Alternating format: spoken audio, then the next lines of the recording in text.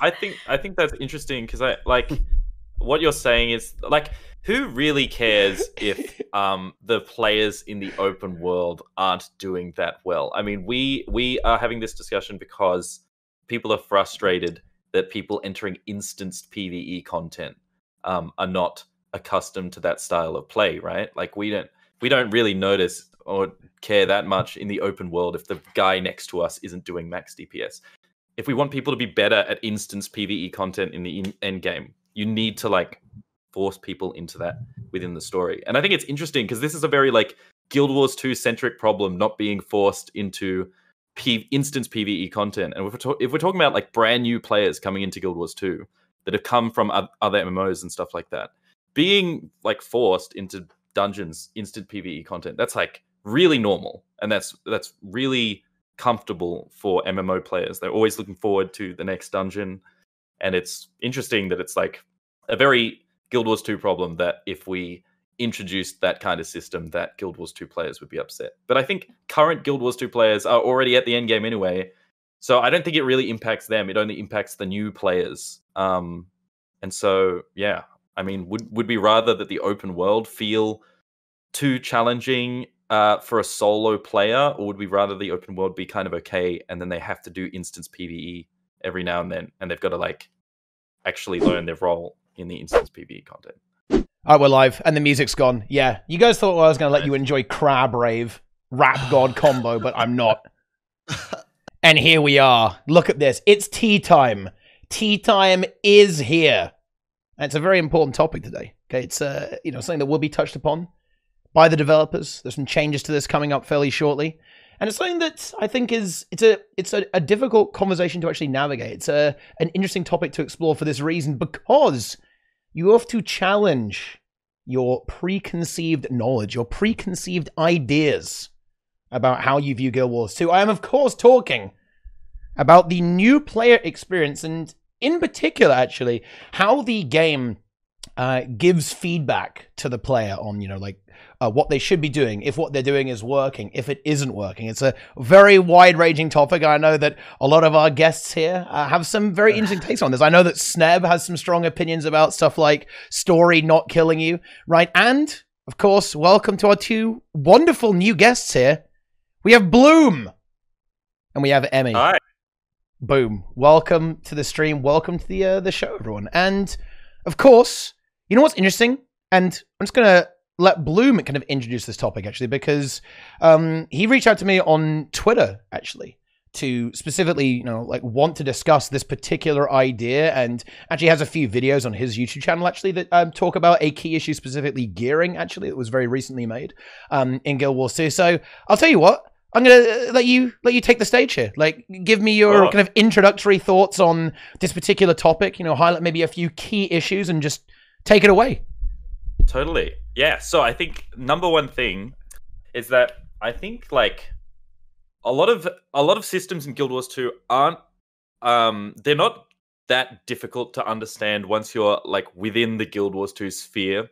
But for like brand new players, all that stuff is super confusing because there's no way for the game to point out all these things. And I think the main like fundamental issue is that the new player experience is like not at all close to what the actual end game experience is. And I think that gap is way wider in Guild Wars than it is in something like Final Fantasy or WoW. Um, yeah, I mean, I think it's I think it's due to like the gearing system, how to get gear. Um, I think it's due to the tutorialization and how you're not taught about break bars and that sort of thing early on in the game. Um, I think it's you're not taught about roles. You're not taught about how to play those roles early on either. Um, and you have like no avenues to do that because the game doesn't really reward you with like I don't know. It doesn't try to make you you know specialize into healing or boon providing or anything like that early on in the game.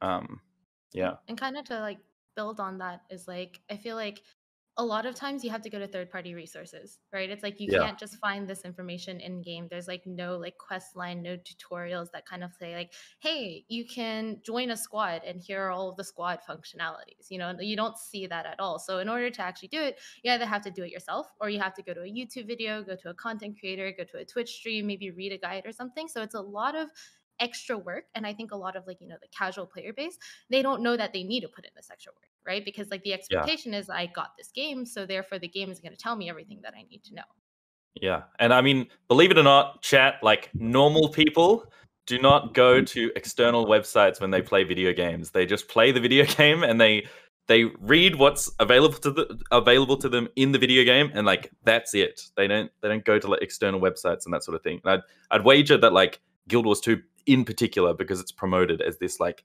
casual game or whatever.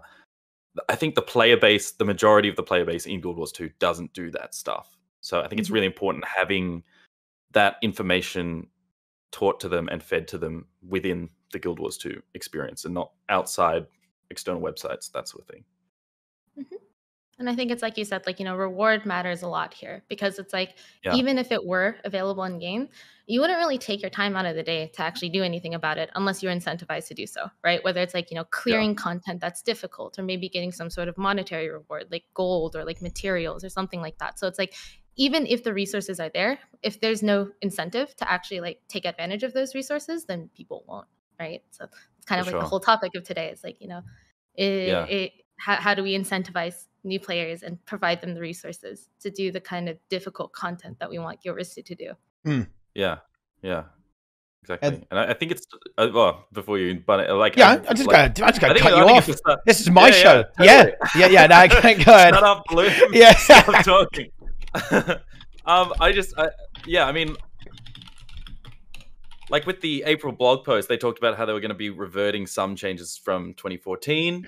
I think a lot of those are going to be important. We're probably going to talk about a lot of those today. Um, but yeah, I think it starts with like having a solid tutorial in the actual tutorial zone that we have in the game. Like as soon as you boot up the game, you have this cool spectacle. You have the boss fight and stuff. But I think the actual tutorial, the stuff like in the End of Dragons training area, needs to be in the actual tutorial part of Guild Wars 2. It's crazy that it's it's not there. And I have friends that like have been playing for ages and played 1 to 80 recently, played Heart of Thorns, and then we did some raids and they're like, what's CC? And it's like it's still not that clear. It's still not that clear to like most players what um like that CC needs to be used for break bars, you know? So yeah. Anyway, I think what I'm hearing is um, you basically have to be in this very specific demographic of people that are highly engaged, engaged enough to go to out outside resources um, to learn the fundamentals of the game.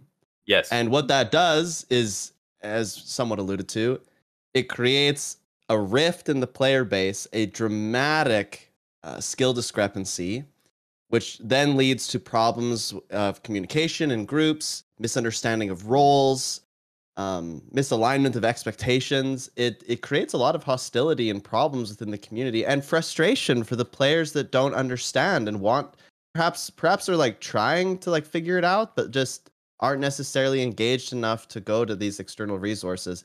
And we're not even talking about like the stuff where you know might be a little bit more expected that you would engage with outside resources like raid and stuff. We're talking about the simple Mm. things like break bars and what a stat does and gear and if you don't if you don't engage with anything outside the game you will never understand that like you Yeah. won't just like naturally figure that stuff out right it's it's very Yeah. complicated um and it's never alluded to in the game like it, it's basically like hey look you got this like shiny thing and it says power on it but yeah. uh, it's it's I- mostly irrelevant to the to players or at least it seems like it's irrelevant to most players For sure. And I I think it makes Guild Wars 2 come across as a more shallow game than it is for new players. If they don't engage in like understanding boons and CC and that sort of stuff, it makes the game just seem like, I don't know, a, a WoW or Final Fantasy, but with less skills, you know? And I think when you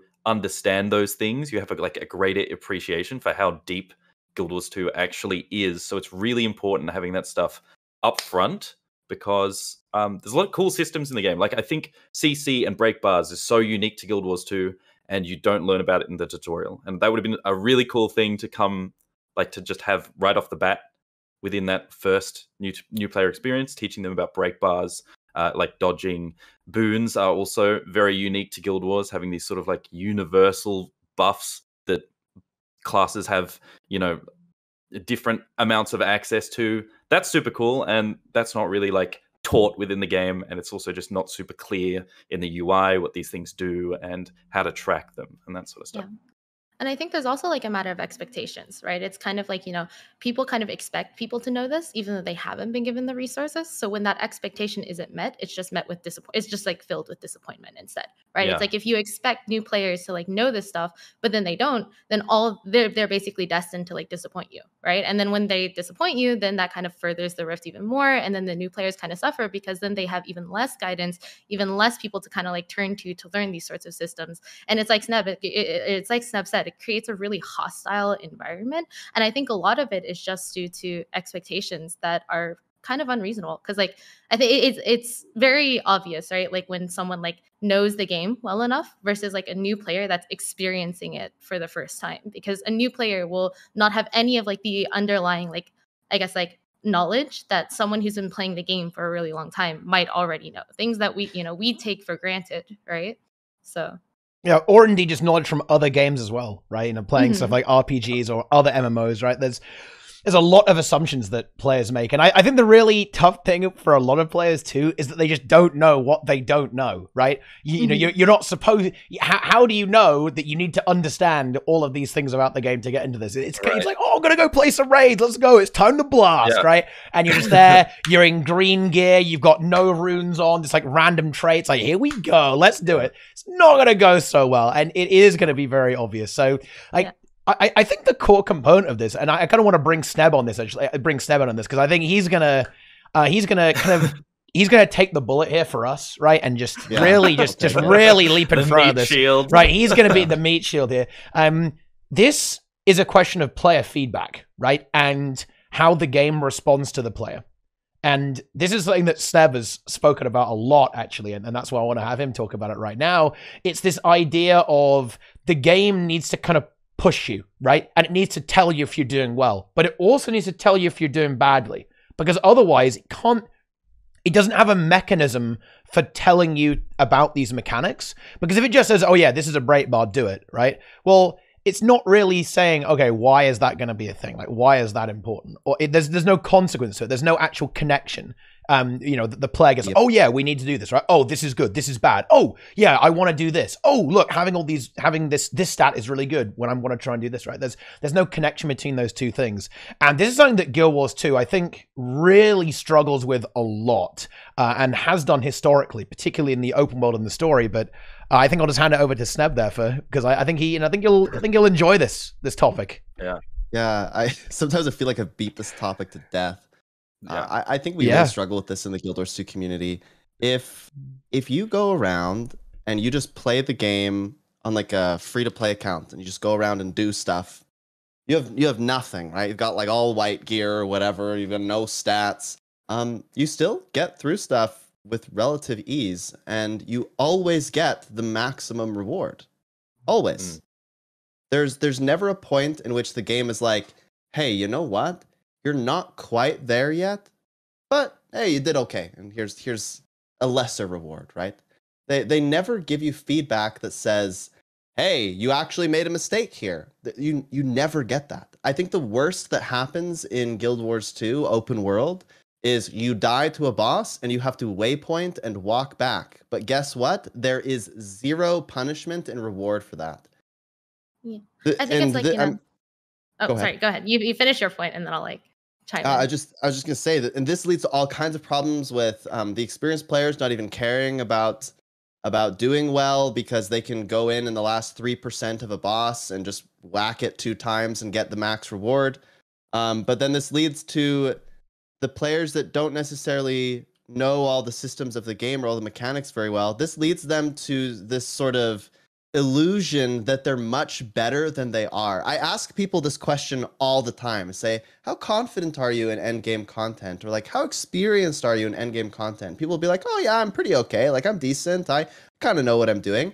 And really, they have absolutely no idea. But I, I can't be mad at them. Why would I be mad at them? They just don't know. And the only feedback they've ever gotten from the game is that they're doing really well. So they just think, yeah, I'm fine. Yeah. And kind of, I was going to jump in when you said, like, you know, dying has no punishment. And I think this is really interesting because, like, in the past, MMOs, dying, you did have punishment, right? It's like you lost your gear, like, players would kill you and then they would, like, take your stuff. So it's like there was very much an incentive to get better so that you would avoid death in the first place, right? But like, you know, Guild Wars 2 is designed very much with like, you know, the casual player base in mind. And because it's, you know, notoriously like, you know, catering towards the casuals, they wanted to make the user experience a lot better, right? So then like, you know, the user experience of like dying and having to recollect your gear freaking sucks, especially if you're like a new player, right? And So they that in Guild Wars 2. In World versus World, full loot PvP. Oh, full and loot. in Wow. PvE. no. If Oh, you- wow. If you die to Suwon, Suwon loots you. Everyone's gonna be decked out. in Yeah. all of the gear. She's gonna Yeah, have like yeah. 20 chak Emi. infusions. Yeah, it's just, she's, she's gonna have Right. like, you know, sparkles all over her from all of the players that she's killed. Right. I think. I mean, I think this is an interesting point because I other MMOs that I think about, like Final Fantasy and WoW and stuff, they don't really have punishment for death either. Um, and I think the only reason that they're held accountable and you realize you're doing poorly is because you're funneled into instanced PV, like instanced group content all the time. And so you have people talking to you all the time. And um, Guild Wars has a lot of like that organic grouping in the open world. But again, you don't need to say anything to each other. You don't know if you're being a good healer or not in the open world. Nobody really Mhm. comments on that.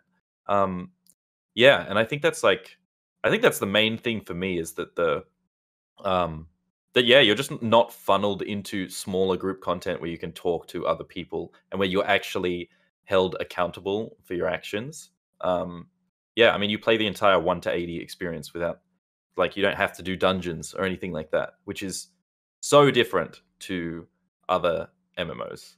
Yeah. And I think like a lot of other MMOs, they kind of gate you based off of like, you know, your item level and stuff, right? It's like you Yeah. literally cannot do certain dungeons until you've reached past a certain point. And I, I do kind of want to like play devil's advocate here because I, I know like, you know, this is a fundamental thing that is really, really unique to Guild Wars 2 in the sense that like, you know, you don't even need armor to be good at the game, right? Like I always use like the example of like, you know, someone with just like, you know, maybe their armor and runes and is really, really good at their class is still going to out DPS, out heal, outperform someone who might have like a full set of perfect gear but doesn't know anything about the encounters or anything about their class whatsoever, right? So it's like 2 has a much bigger emphasis on personal skill over, you know, uh, the the stuff that you're wearing, right? It's like you can be like fully decked out in infusions and you're still going to do less damage. You're still going to be less impactful than someone who might have the knowledge to like outpace that.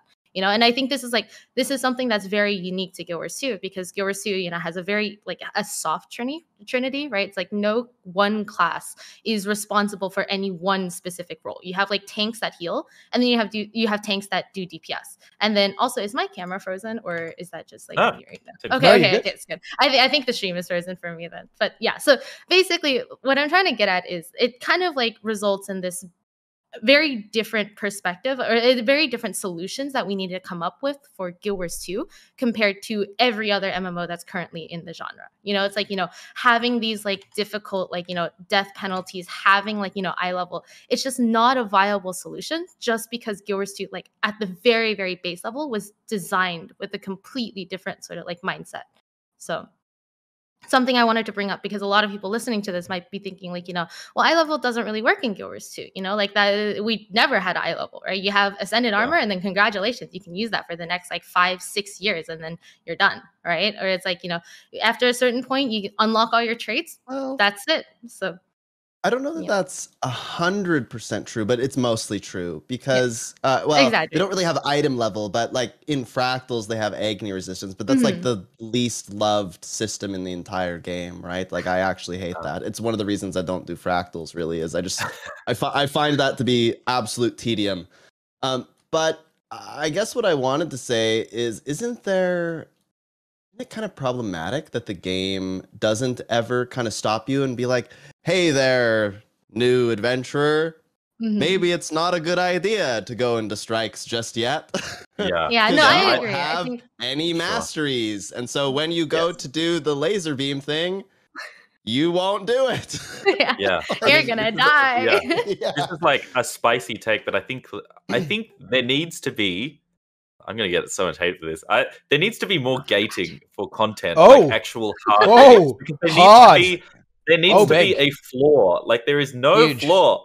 There is zero floor. You can literally enter strikes in all white gear. Nothing is stopping you from doing that. From like griefing your entire team with full white gear, and like I there there is no I- flaw.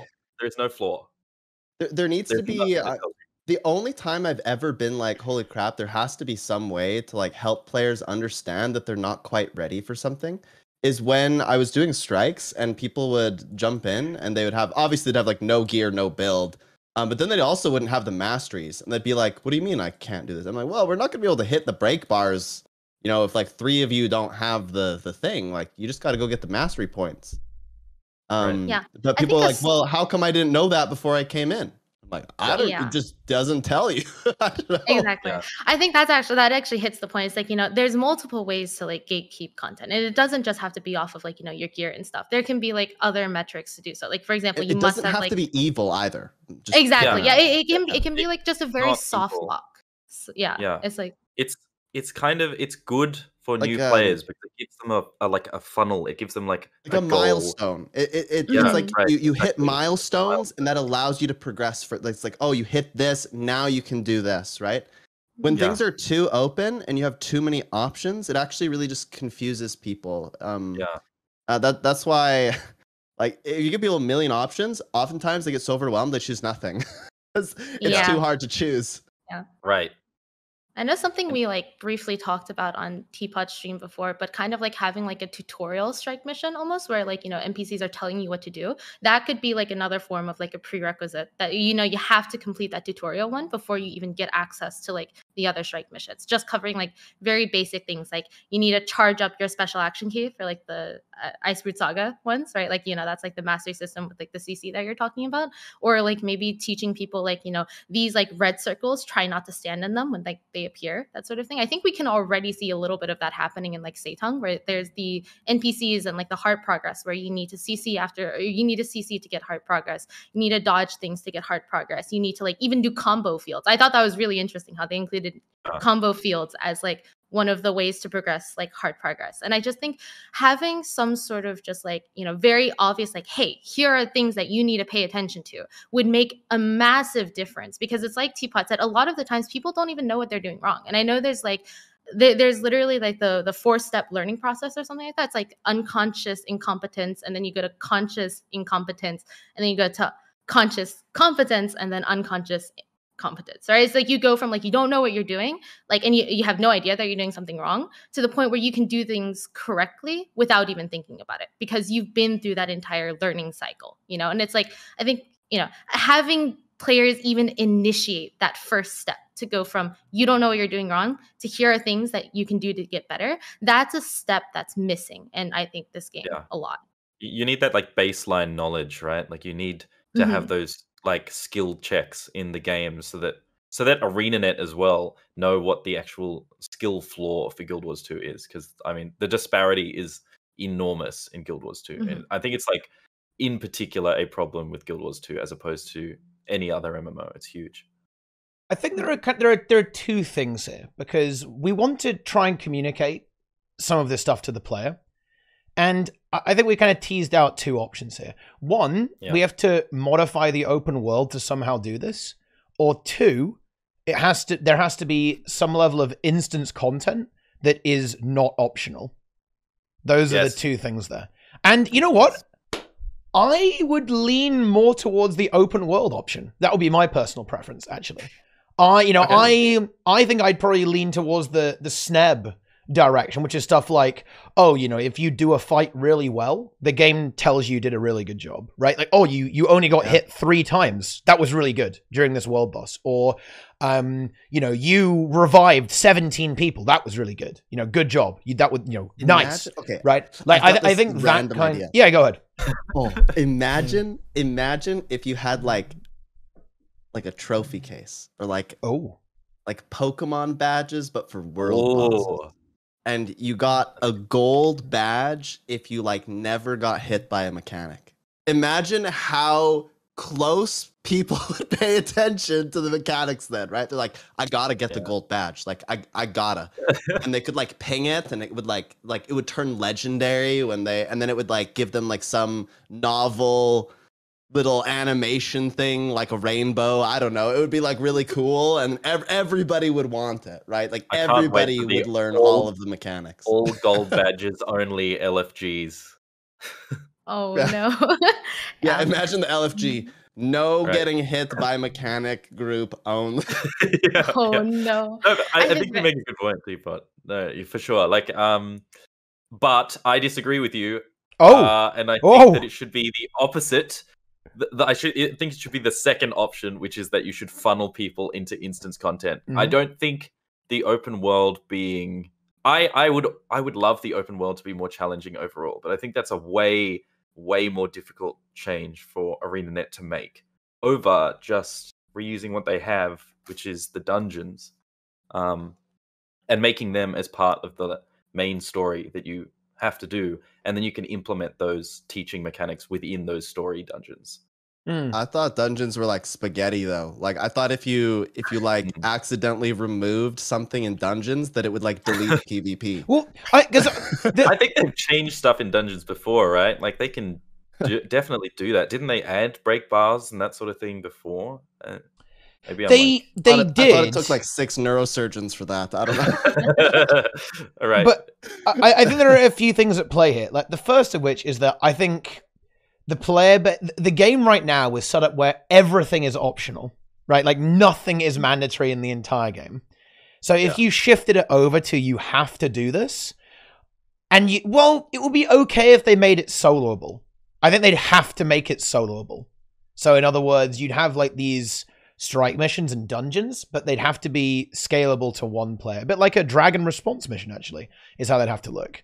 And that would probably be a good amount of work to do. And you could do that um, as well. But I do think that if they made that shift, it would probably cause a bit of friction with the community. And and in a way, it will be it almost seems like it will be a, a very challenging thing to do because you'd have to go through all this content and make sure that it's expressing mechanics, right? Which is there's a lot of content to go through and kind of make sure that it's actually doing something, and you're you're going to learn from this um, Right. a little bit more. Whereas I think if you do it in the open world, it's a bit softer in a way, right? And and maybe that will not force people to learn as much. But I'm not sure if Arena really want to kind of force people to learn. You know, they it is definitely a challenging game, but I don't think they want to go. You know what? With the Dark Souls MMO, okay, you know you got to get good, otherwise you're gonna be hard. set. You're never gonna make it to the story, right? You're just there forever. You can you you know you cannot break through. You know, Joko wins, right? Like there's an alternate storyline where Joko wins and the entire world is turns undead, right? And you join his harem or something like that, okay? because you can't beat the boss, you just lose.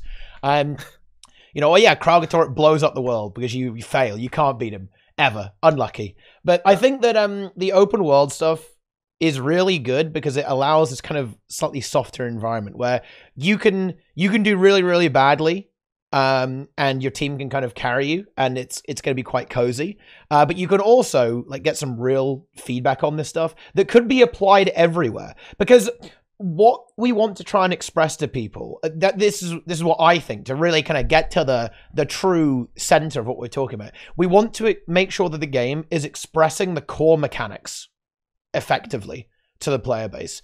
And what is that? Well, you want to talk about damage, you want to talk about healing, you want to talk about boon application, you might want to talk about condi cleanses, revives, defiance bar breaking. Like it we want to very much like push these mechanics because these mechanics are how the game works, right? And you know, like I, I don't know, I don't know what to say. Like you, you get to a weird point there because oh, thi- this this one got weird. Um, this got weird, and Sneb, you're gonna love this. You are gonna love this. In fact, you know what? This might be it. Um, this might be the breaking point for Sneb. So I'm sorry if you're a Sneb fan, he might quit the game after this. I had a conversation on YouTube and uh, on, on you know on YouTube and, and on Twitter as well. It was a two it was a double conversation. And I was talking to someone and they and I was saying, "Oh, you know, like I think players should learn the core mechanics of the game. You know, like reviving DPS." And the the play someone said to me, "That shouldn't matter." And and at that point, like, where do I go? Like, what what? I don't understand where to take the conversation over that because I'm saying, well, you know, learning the game mechanics in the video game is a good idea, so you can play the game more effectively and you know, kind of get what you want and accomplish your goals. And then people just turned around and said uh, that shouldn't be necessary. There is no reason um, for people to have to learn the game. I'm like, well, I don't, I don't what? I, mean, I think I think that's interesting because I like what you're saying is like who really cares if um, the players in the open world aren't doing that well? I mean, we we are having this discussion because people are frustrated that people entering instanced PVE content um, are not accustomed to that style of play, right? Like we don't we don't really notice or care that much in the open world if the guy next to us isn't doing max DPS the only like the Soo-Won scenario basically just put this on a pedestal and showed that this was a problem. But like, really, what we're talking about is like people having trouble getting into the instanced PV, PVE content. And when you're saying about like important things to know, like reviving DPS and that sort of thing, you won't learn that in the open world, even if it is difficult. Like you're you're not going to be running around with another DPS dude as a healer or anything like that. The the way you learn that is in in the instance PVE content like dungeons, where your DPS dies and you're like, shit, I gotta go help him up. That sort of thing. So I feel like if we want people to be better at instance PvE content in the in- end game, you need to like force people into that within the story. And I think it's interesting because this is a very like Guild Wars 2 centric problem, not being forced into P- instance PvE content. And if we're, to- if we're talking about like brand new players coming into Guild Wars 2 that have come from other MMOs and stuff like that, being like forced into dungeons instant pve content that's like really normal and that's that's really comfortable for mmo players they're always looking forward to the next dungeon and it's interesting that it's like a very guild wars 2 problem that if we introduced that kind of system that guild wars 2 players would be upset. But i think current guild wars 2 players are already at the end game anyway so i don't think it really impacts them it only impacts the new players um and so yeah I mean, would would we rather that the open world feel too challenging uh, for a solo player, or would we rather the open world be kind of okay, and then they have to do instance PVE every now and then, and they've got to like actually learn their role in the instance PVE content? Yeah, that, that's actually something really interesting. So I'm going to hone in on one thing that you said, which is like, you know, prioritizing sort of like the solo player experience. I was literally watching a YouTube video last night, highly recommend to other people that it kind of talked about like the history of MMOs. And originally, when MMOs first came out, they were expected to be extremely difficult, right? Like, you know, they kind of followed like the whole like Dark Souls sort of like formula where it's like, you know, you cannot do this unless you group with other people and you perform really well. And like a lot of the open world bosses, like, you know, you needed to like, hammer at them for like hours, right? You need to clear things, you need to prep things, and it was difficult, right? But the part of the reason why the MMO sphere has become so popular over the past like, you know, few decades is because it's become more accessible. Like not just accessible to like, you know, people with like disabilities and that sort of thing, but accessible to the average player that might not have the time to invest into this stuff. So you see a massive shift from like, you know, challenging gameplay to overall accessibility and prioritizing like the solo player experience because the solo player experience is like, you know, it gets you money, right? Because there are people that come to the game and then when people come to your game, they spend money. And when they spend money, then you get more content. And then more content means more players. And it creates this sort of like positive feedback loop, right? But as a result, it kind of creates this sort of perception that now like forced group play is extremely problematic right? And now it's like, you know, since you've created this culture in which people kind of want to be able to do things on their own, play at their own pace, you know, I, I completely acknowledge, you know, you know, like if you're just playing the game and you're minding your own business, nobody should really care whether you're like performing or not, right? Because your actions mm. only impact yourself. But then when that kind of starts having bigger consequences, right? Like you accidentally stumble onto a meta, or maybe you need to like do the story for like, you know, the turtle, or you need to do the strike mission for the turtle, then now all of a sudden your own solo gameplay is now directly affecting a lot of people around you, right? So it's like, Yeah. it's kind of like, I, I just wanted to really like hone in on that because I think this is something that we've kind of seen both ends of the extreme for, where you've seen extremely difficult content in the older MMOs, like, you know, EverQuest and stuff. And with the newer MMOs kind of having this emphasis on like, you know, you're basically playing the game together alone. Right, you're, you're playing by yourself with like a bunch of other people, and because of that, it makes it extraordinarily difficult to balance what is considered, you know, the game's responsibility to make people want to get better, and what is our responsibility as the community to give people the resources for doing so. Because when I've been running the Dragon's End meta, which I'm, I'm just going to use that as the example because that's easily like the most difficult piece of open world content currently in the game, right? It's like I have to type, I have a copy pasta that's almost half a page long on like, you know, the core mechanics, like what is CC, what is stacking, why do you need to like stay close? Well, it's because boons are like applied based off of proximity, right? And I've had people whisper me, they're like, I never knew this because I I never needed to. They never needed to know this in open world. But now that they know it, now it's like, you know, you kind of bridge that gap a little bit between like, you know, the newer players and the more veteran players.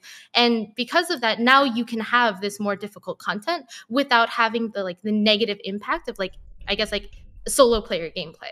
You know, and it, it was very much Totally. the community that drew that. That that wasn't, you know, the game like telling people, hey, you need a CC here as the community or like you know not just myself but many other people by providing these resources and like you know kind of like screaming it out into the void we managed to get a couple more people that kind of like are willing to kind of abandon that solo, solo player mindset And So- you know what? Um, Ooh. just as a little of a bit of an aside, Oh, as much as open world players might hate to admit this, oh no.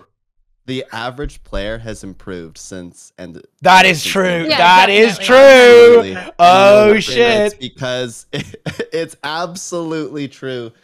Absolutely. Because they were presented with a difficult challenge and they were told to overcome it. And many players rose to the challenge. And even even ArenaNet said that in their blog post. And it's because of people like Emi, you know, educating people in the community, commanders coming in saying, like, hey, we can do this. This is what you need to do to get this done.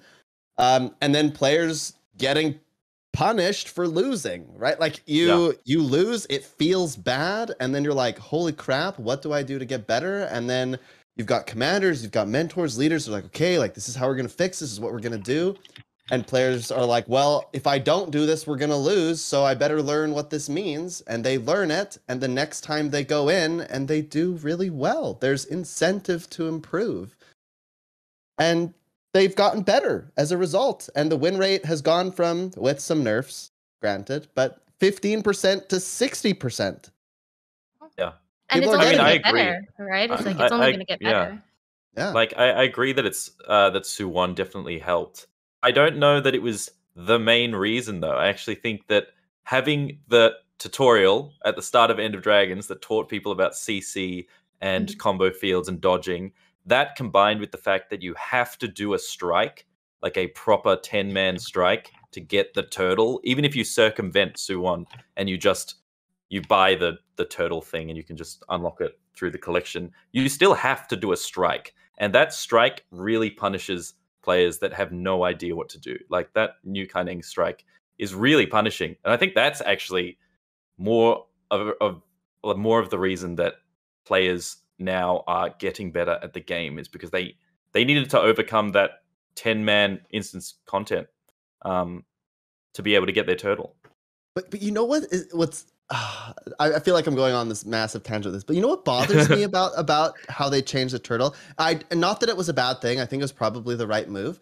But I imagine that the logic of having the turtle behind the Dragon's End meta was to introduce people to some difficult content in sort of a slope so that when they went to instance content, they were slightly more prepared. But now, because you can skip that process, they go into strikes at super unprepared and they just encounter the same problem but in a different medium. Oh yeah, it all it does is it, it kicks the can down the road.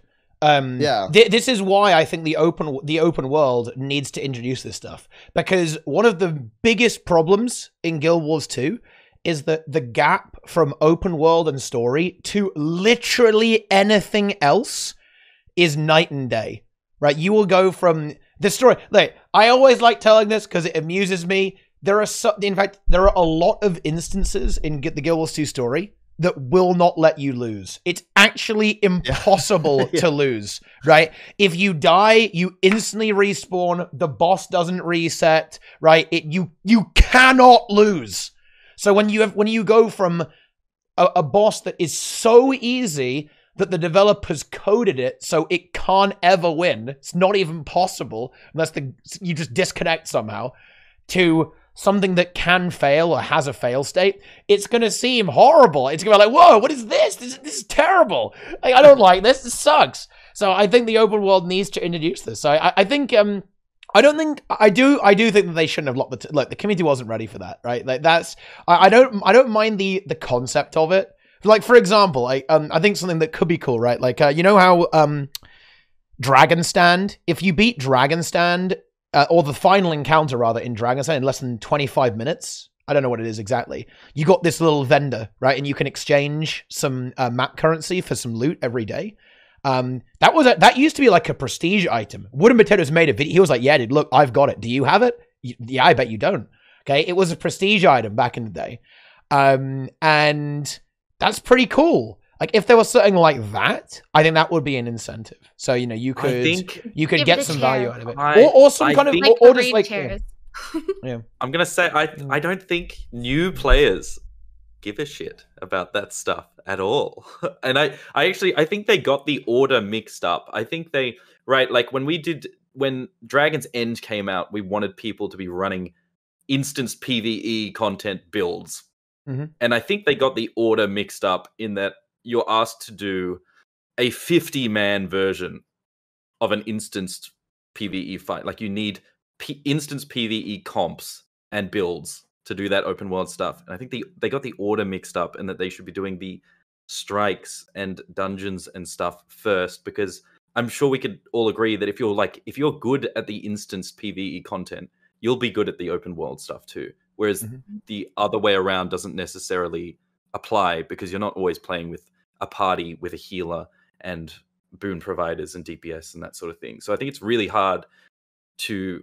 I mean, I know I'm harping on this point, but I feel like it's really hard to ask ArenaNet to rework a whole entire like the core map and all of the enemies in that and have and have ArenaNet teach players through that over just getting them good at instance PvE content first and then just like as a consequence they'll be better at the open world PvE. I think I'm kind of on the fence here because I, I kind of lean more towards what Teapot said, where I kind of prefer the open world stuff to be more difficult because open world stuff, you don't need to do it, right? Like if you, if you think about it, you know, the turtle's cute and everything, but technically you don't need to like complete it or anything like that. It was on the box, so having... I need it. all over every piece of marketing. I mean, if, if I yeah, okay. Turtle, well, I mean, I'm I agree. I think, yeah, I mean, okay. I'm, I'm mostly talking like tech. I'm just trolling. I'm trolling. Okay, but, don't yeah. worry. I, I think like you know open world it's more easily avoidable right? It's like if you don't like it just don't show up at that time kind of like you know mind your own business thing. And for me for this is very much a personal thing. I feel like it's so epic. You know it's like going into like a map with like 50 other people and like you know having that opportunity it's just it i, I remember the first time i did dragons end okay i crashed out the first time. So the second time that i did dragons end it was epic right? I, I hadn't had a feeling like that in any other game I've ever played in my life. I feel like Guild Wars 2, the way it was structured, is the only type of game that can facilitate those sorts of open world encounters. So this might very well just like, you know, be being selfish, but I personally would love if like the community could get like their overall skill level to the point where ANET feels more comfortable introducing this type of content into the game. And obviously, like I don't think the solution needs to be one or the other. Like, you know, these two aren't mutually exclusive things. You can introduce yeah, like, totally. you know, strike missions earlier and like maybe for example, in order to progress past the story, you need to do like some sort of mini strike mission, right? It's like, you know, just like as a story, like kind of like giving players a nudge in that direction. And then after they've done that, you know, that mini strike mission that might just it might just be like the ice golem, right? From Ice Icebrood Saga. Just something super easy, super straightforward,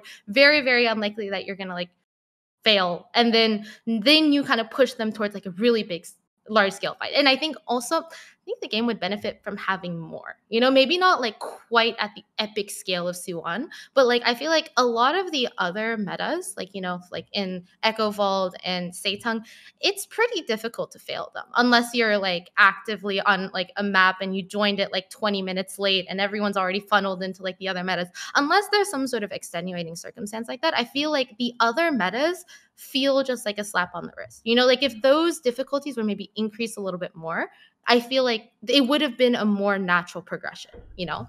So So to like loop things back because I think I think everyone's said their piece on like Dragon's End and stuff like that. I Mhm. think I think we're jumping the gun a little bit talking about End of Dragons content, which is level 80 content. True. Um, you know, I feel like we need to talk more about the 1 to 80 experience because that's what people that's what brand new players are going to be experiencing first. Um, and as much as And I love changing people it. to just jump Mhm. Right, right, exactly. And I think we should talk about that a lot because that's like that's the big thing. That's that's that's where players get tested and um Number see if one they thing, want to like continue playing the game. J- Sure. that we're locking this in. Th- We're not. Even, we're not even going to argue about it. Okay. When you level one to eighty, by the time you hit level eighty, you should have the same gear that you get from the boost. I agree. Uh, yep, There it is. hundred percent. Okay. I know. Full I- set I- of exotic, celestial, divinity rune, or some bullshit. I don't care. Right. yeah. just- Done. Easy. You, you said I that the other day, and I. Yeah. I almost agree because I really like the Celestial set, and all my friends that are jumping in for the first time with full Celestial, I can you know suggest so many builds for Celestial. Um, but I actually think the gearing from one to eighty it needs to have more stat selectable stuff, um, and you need to be able to gear for like you can't get Harrier gear between one to eighty, right? Unless I'm mistaken, you can't build into healing like just being a healer which is what you're going to be doing at the actual end game. Um, I think they need to allow for like more stat selectable stuff on the way up to 80, and either that or give you those options where it's um, you know, they show you they've got berserkers, vipers, harrier, um, diviners maybe or something like that. Um, and also I think there's too many stat combos in the game now, and like 75% of them people don't use and they're just there as like a trap for new players where they could like if they got a stat selectable piece of gear there's so much there that they'll just end up picking the wrong stat and i think they need to be filtered as well. We have so many stat combos and you scroll down the list and you have no idea what all this stuff does and they need to have they need to have like little tabs and be on a like here's condi gear here's healer support gear you know like there's too many I I, actually like that oh. idea a lot. Yeah. I, I, I was gonna say I like that idea a lot. Just even sectioning them out because I think the closest example to that that we have right now is like um with like the raid gear, right? You have like assaulters and militias Mm. and like healers and defenders. They have already sectioned them out a little bit, you know. And Oh, I if hate if that. I, it's annoying when you get like the wrong Right. set and stuff, but it does very Yeah. much create that distinction, right? And it's like Yes. you know the s- individual stats underneath all of the assaulters, for all intents and purposes, for people that are in open world, they're very similar, right? It's like it, really won't matter all that much, you know. But like the Right. difference between an assaulter set of gear versus let's say like a healer set of gear is night and day right so it's Yeah. like even creating like a little bit of divide there maybe like earlier in the game so people can like acknowledge like oh there's a stat that gives me extra healing power or oh there's a stat that gives me extra power and like oh i had no idea that there was like a difference in power versus condition damage you know it's like i think having that distinction early especially since they already exist in the game would benefit the new player population a lot Yeah. I think by Um, level 80, they should be in the build. I think they should have the build that they have been, you know, going for since level one, really. Mm-hmm. I okay, I have maybe this is a hot take, but I do not like the idea of having a billion different items that that categorize stats. I and I don't think that's what you're saying necessarily. I just want to make this very clear that that Yeah. sucks. it's very confusing for players because they're like assaulters, defenders, like what do all of these mean? And there's oh, other different stats under them, but some of them have the same stat as the other one. Like I don't get it, right? Like that it's it's too much and it makes it more difficult to gear a character because when you get drops in raids and other places and you only have one type of stat that you can pick if you don't need another healer then you're screwed right so what you need is everything to be pretty stat selectable like this might be a little bit of an aggressive take But if No, I agree. everything was just stat selectable, like ascended items at least, then I think life would be a whole lot easier because people would be able to just pick the thing the thing they need. And maybe it's only ascended things that drop to be specific. So it doesn't like ruin crafting or anything. But like if I got if I got like a ring that dropped, it would just be stat selectable. Yeah. And I then think- Right. yeah. I think so if nothing easier. else, I imagine ANET would probably be pretty like receptive to this sort of idea because they already changed like the unidentified gear system, right? Like before you used to get Mm. like an inventory full of like random stats and who has time to look over like every single combination of stats, right? But they kind of like combine that all into a single unidentified gear. And if they have the resources to like, you know, combine things, they probably also would be able to have the resources to maybe like create very small like distinctions between them or like change the, how stats work in the first place, right? It's like when you click on an unidentified gear, it gives you like an item or something like that. And then maybe then you can select between like all of the different stats, you know? Yeah. I, I gotta add something else because I know Oh. the chat is angry about this. Wait, oh, oh, Yes, yeah, I- yeah. I, I realize, I, I promise, I understand that you can stat swap ascended stuff, but you can't stat Yeah, no. swap all ascended stuff, which is very confusing for the player. And I will also add that many players don't know that you can Yes. stat swap ascended stuff. And so the problem is that people get the item and they're like, ah, and then they never use it because Yeah. Like And- I'm dead serious. I think we take for granted the knowledge we have a lot. I know that stat swapping ascended stuff is relatively inexpensive and not very difficult or time consuming, but most players have no idea it even exists. And Yeah. so if if we take that into account, we're just we're just Oh, adding levels and dude. levels of Yeah. depth and Oh, complexity for thi- gearing, Yeah. right? This is putrid. This is honestly one of the most putrid things about Guild Yes. Wars 2. Um, Yes. is the, the fact that the game is like unplayable if you don't uh, open like 14 fucking wiki tabs, right? Okay, like Yeah. Like, Yeah. it- it's it's actually really funny. I, a, a Final Fantasy player um messaged me the, the other day, and, and they said that they they're raiding, um they're like blasting Ultimate, Savage, right in, in Final Fantasy, all this crazy stuff. Um, and they said I can't even get into raids because I have to like research a million different things in Guild Wars 2. Whereas in Final Fantasy, you just go, right? You just start playing Yeah. and the game just like does it all for you. In Guild Wars 2, you got to be looking at that. You got to look at this. You know, you, you're getting like meme gate kept as well, right? Out of this. Like you have to Yeah. look at the wiki so much more. Um, and th- there's, there's something that a- about the whole gearing thing. I I think you guys are kind of, in, in a way, I'm calling you out. I, I think that you're kind of skirting around the issue here a little bit. I, I think the issue is, is that um, players have no idea what the stats actually do and how it Oh, yeah, relates to no their clue. build, Yeah, right? We're just And- making it even and- harder to learn and- if and we what- add well- like a million different names for them. I, I I think yeah I, I think I you know I think you'd be actually surprised um but what I think needs to happen is the game needs to kind of suggest what stats you should use or the type of stats you should use and Nope. uh, you know what you know I Too actually hard. think it should I, no I think it's. I think it's too I, hard I for don't Reddit to do. Yeah, I. I actually I I- don't Too many think they variables. you can do it with There's weapons Too many you can variables. you can do it with weapons you can you absolutely can um No. for example if if you if you're playing Don't ne- if you're playing Necromancer and you've got a scepter, it can go, you know what? That's a Condi weapon, buddy. Right? If you're Okay, playing what about- Great Sword con- on on Warrior, What- what- you know what? yeah. But Away you isn't. Power Scourge a thing Okay, in what Wolver's ab- World? And what about what about Condi Reaper, right? Like Condi Reaper does, uses what great sword, right? And there's no Condi on the great sword. It wouldn't always work, but it would always give you a right answer. It wouldn't give you every right answer. It would give you a right answer. So I- if I you were think- playing Mm. Reaper, it would say power, right? Because great sword is a is fundamentally a power weapon to an extent. I- I Um, think what we're discovering here is that trying to decide where the line is between telling a player what to do or what they might or the, what they should do, giving them a suggestion or a recommendation, and then where the player should try to discover on their own. That line is very difficult in Guild Wars 2 because there are so many variables and options. Because um, whenever somebody's asking me like Sneb, what should I play? I like cringe. I, like don't even know how to answer that because Yeah. like, well, where do we begin? Like Yeah, yeah. a hundred think- years ago.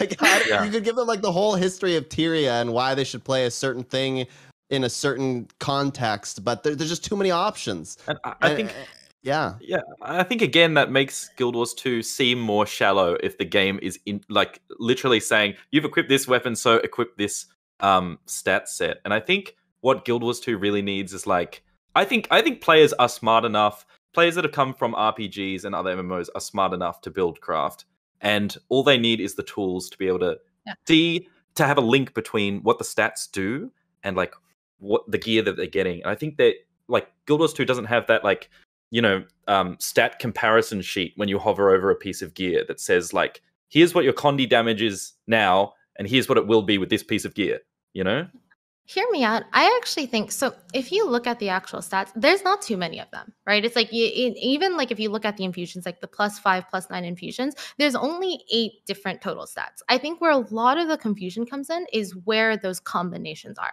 right? It's like you might have power, precision, like ferocity, and then you might have like power, precision, ferocity, and then toughness, right? It's just like it's. I don't think it's actually the stats that are very confusing. I think it Hmm. is the combinations of stats that is very overwhelming because all you see is just alphabet soup, right? So if okay, I'm not saying like you know this is the solution. This is more of just like you know a thought experiment. Like people can use this as food for thought. But imagine if let's say like lower tier gear, you could choose the stats, but you could only choose between four of them, right? And each one of them kind kind of like has like the major stats, right? Like you know, power Yeah. is definitely very very different from toughness, right? So different gear that you select, it wouldn't have all of the combinations of them, but you could Yeah. choose between specific subsets. And I think like you know lower tier gear might have very easy lines to differentiate between right? Like if you get pick up green gear maybe you can only choose between four different subsets. And then as you kind of ramp up and everything you know you get to ascended gear maybe you get even more options to choose between right? Because when you're kind Great of idea. getting to like higher tier content that's where you're min-maxing. Like nobody cares if you have a 100% crit chance in your level 10 story right? Like nobody cares about that stuff. But when you get to higher tier like you know raids and fractal content it does start mattering, right? Like, you know, that little Yeah. bit of extra, like healing, that little bit of extra crit chance, it makes a pretty significant difference if all 10 people are doing there. But I don't see why there needs to be this complexity when the game is very fundamental. You could even argue, again, this might be a very hot take. Imagine if only certain like stat combinations were available on legendary armor, right? It's like imagine with Ascended gear, you only had access to Berserkers. Again, this is a hot take. I'm not saying. Only I'm saying- Berserker. uh, yeah, imagine if, like- Vitality Uh, not allowed. okay, okay, no, no, no, I don't mean it that way. But like, I'm, I'm trying to make a distinction between like power, precision, ferocity. They only had the berserkers version of that, right? But assassins is basically berserkers, except with more precision. They're effectively the same stat, except one has w- more weight on one specific stat than another one. And let's say you know, berserkers is only available on ascended. And then assassins and I- berserkers is available on legendary. Again, I, I, I'm not saying yeah, this is a solution. mean- I just want to offer, you know, I- that's that's i was really i was really loving your like previous idea of limiting it more when they're lower level and introducing more stat sets, sets as they get higher level like i think that's great because by the time like by the time assassin's gear is introduced the player's already probably decked out in berserkers and they can Mhm. see that assassins is basically the same except it's going to give them more crit chance and they'll be able to Exactly. like build craft through that Uh, Um, I wouldn't and I do also, that. I, I, Oh, again, I, I'm oh, not saying this why is not? the solution. I just want to give it as like you know a, a thought experiment, right? Because it's like when you're a Mm. newer player, whether or not you have that extra five percent crit chance really doesn't matter, right? But as you're getting into harder and harder content, you're more and more familiar with the game mechanics, and as you become more familiar with the game mechanics, you have better knowledge to make that decision, right? You can okay. decide whether or not you want that. I, I think I'm misunderstanding this. Mhm. Are you saying during the leveling process? Because that already kind of exists. I to an would say between green, blue, yellow, exotic, and ascended. So not even by level, but by the specific type of gear you're By wearing. So like let's rarity say only. exactly. Like imagine if Oh, that's- only that- green gear. yeah. Like imagine if was, green like, gear really you can only simple. choose. Yeah, Yeah, it's like yeah, green yeah. gear you Yeah, can only uh-huh, choose uh-huh. between four stats, That and is big. then rare you can choose between eight stats. Huge. That's and then big brain. exotic, you can choose between 16 stats. Big. And then ascended, because at this point, it's like realistically, if you're getting into raids, you're looking towards ascended gear. You know, like I, I would argue most people looking to get into raids are not wearing green gear. You know, so by the time you're looking into the, like information in order to do raids, you're probably already pretty familiar with like the overall sort of like game system, you know? So then you Yeah. have the knowledge to be able to choose, okay, I want berserkers versus assassins. But like a player that's only playing with green gear and open run, they don't care about th- that distinction, right? It's not necessary for their gameplay. Yeah, I would. Uh, the only thing I would amend to that is I would cap it at exotic. So Yeah, um, yeah, that, that could be another option. Yeah, the, Right. the reason for that is because I like I well, and this is just total bias, but I like that people can jump into raids quickly by buying Yes. exotic gear off the trading post and by Yeah, getting like that stat selectable exotic gear. Mhm. Here's So, the. I I mean, wouldn't here's the wanna problem. limit You them. can't. You can't get every slot off the trading post stat selectable. You can only get some, and it's very weird. Like new players will have no idea what the stat selectable pieces. I think they should just set- I, I think you should just is- be able to buy them. Like you should just be able to buy. They should add more stuff like that to the game, flat out. Um, I think as should drops. just like uh, maybe I'm like all the economists will hate me, but like uh, honestly, I'd I'd like to see them just have like all kinds of ways to get it from strikes, both kinds of strikes, just super cheap, stat selectable, exotic Yes. gear, super cheap, Yes, Mhm. yeah. super This super is what cheap. I like. This is what I hate, made a whole video about the fact that like stat selectable exotic gear is so tricky, and so it's really hard for new players, brand new players that are not using external resources, to understand where to get their gear to build into the role they want. Because stat selectable gear is like all over the place. It's like this three or four specific items you can buy off the trading post. The rest you get from Verdant Brink in Heart of Thorns. Um, it's just like a mess, and it really needs to be streamlined. There needs to be like, if they're going to have a content ramp up, if they're going to have fractals, strikes, raids, whatever, there needs to be a gear ramp up with that and allow you to fully gear up in exotics before you jump into raids and strikes, which is just kind of like tricky and all over the place right now. I still think that the I agree with all this. I think Emi's idea is nine head. Actually, Yeah. yeah. Oh yeah. Yes, big. brain. It's big I've brain. about because I've been playing other games. So okay, other games primarily meaning Lost Ark. I've been playing a lot of Lost Ark. I should just say that. So Yeah, like was- Lost Ark with their like tier one gear, you only have access to a single stat on tier one gear, and then tier two gear, you then get access to two of them. Right, so it's like Yeah. it, it, I, I saw someone kind of mentioning like you know deception, and I want I just want to make it very clear, like you know I can understand why it would be perceived that way, Emi but the I want to make it very deceiver. clear. I don't want it to be seen as deceptive. I want it to be seen as there it's very unfair to overwhelm people with information Yes. when they're first starting the game. I think it becomes overwhelming. People kind of like, you know, brain fart. Like I still do this. Like if people just start screaming information at me, I just freeze, right? It's just I freeze and I can't I can't process anything, right?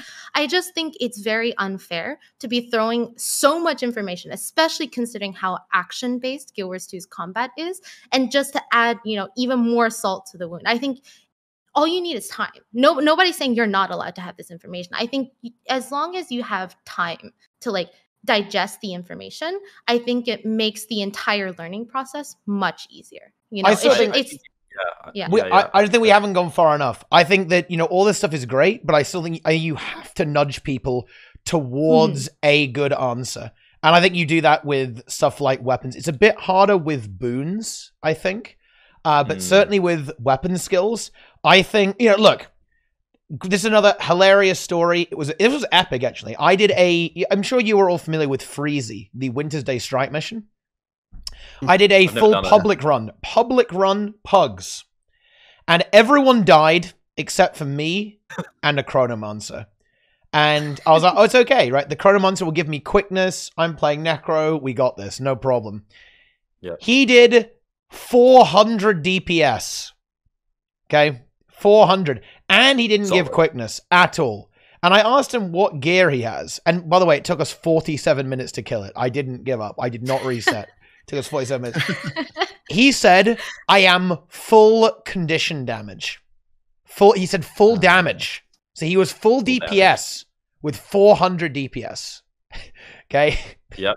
Because they just don't know, right? I mean, he that happens to me he had no all idea. the time. he had no idea. He just did. He just didn't understand, right? Like the, the way it was. Like, and I think for players uh, that are really new, especially players who are new to RPG concepts, it should go, hey, right? The weapon you have right now is a weapon that does mostly condition damage. So you should probably have condition damage gear, or it might be a good idea to have that. Or um, you could even do it with like support weapons. Like it, will be really hard to do this all the time, and you'd have to kind of pigeonhole a few weapons to this. But you could say, "Hey, you've got Guardian Staff. That's a support weapon. Like maybe you want to heal your allies and give them boons, right?" And is that going to give you a perfect answer? No. But the thing is, it would get you to engage with the mechanics so that you get like a decent answer and then you can move from there. I completely agree that it's almost Im- it, well, no, not almost impossible. It is impossible to do this in Guild Wars 2 because there's no trinity system. There's no like, oh, you're a healer, you're a DPS, you're a tank, right? That's not how the game works.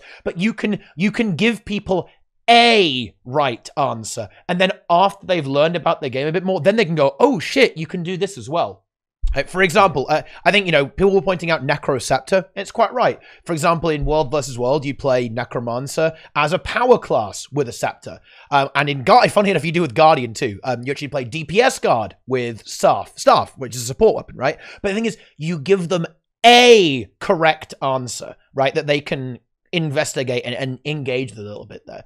Um, rather than like every single answer. Because I think kind of going through, oh, well, you know, if you want to learn the game, you're going to have to look at the wiki and look at the scaling, and then, oh, you want to think about all of this.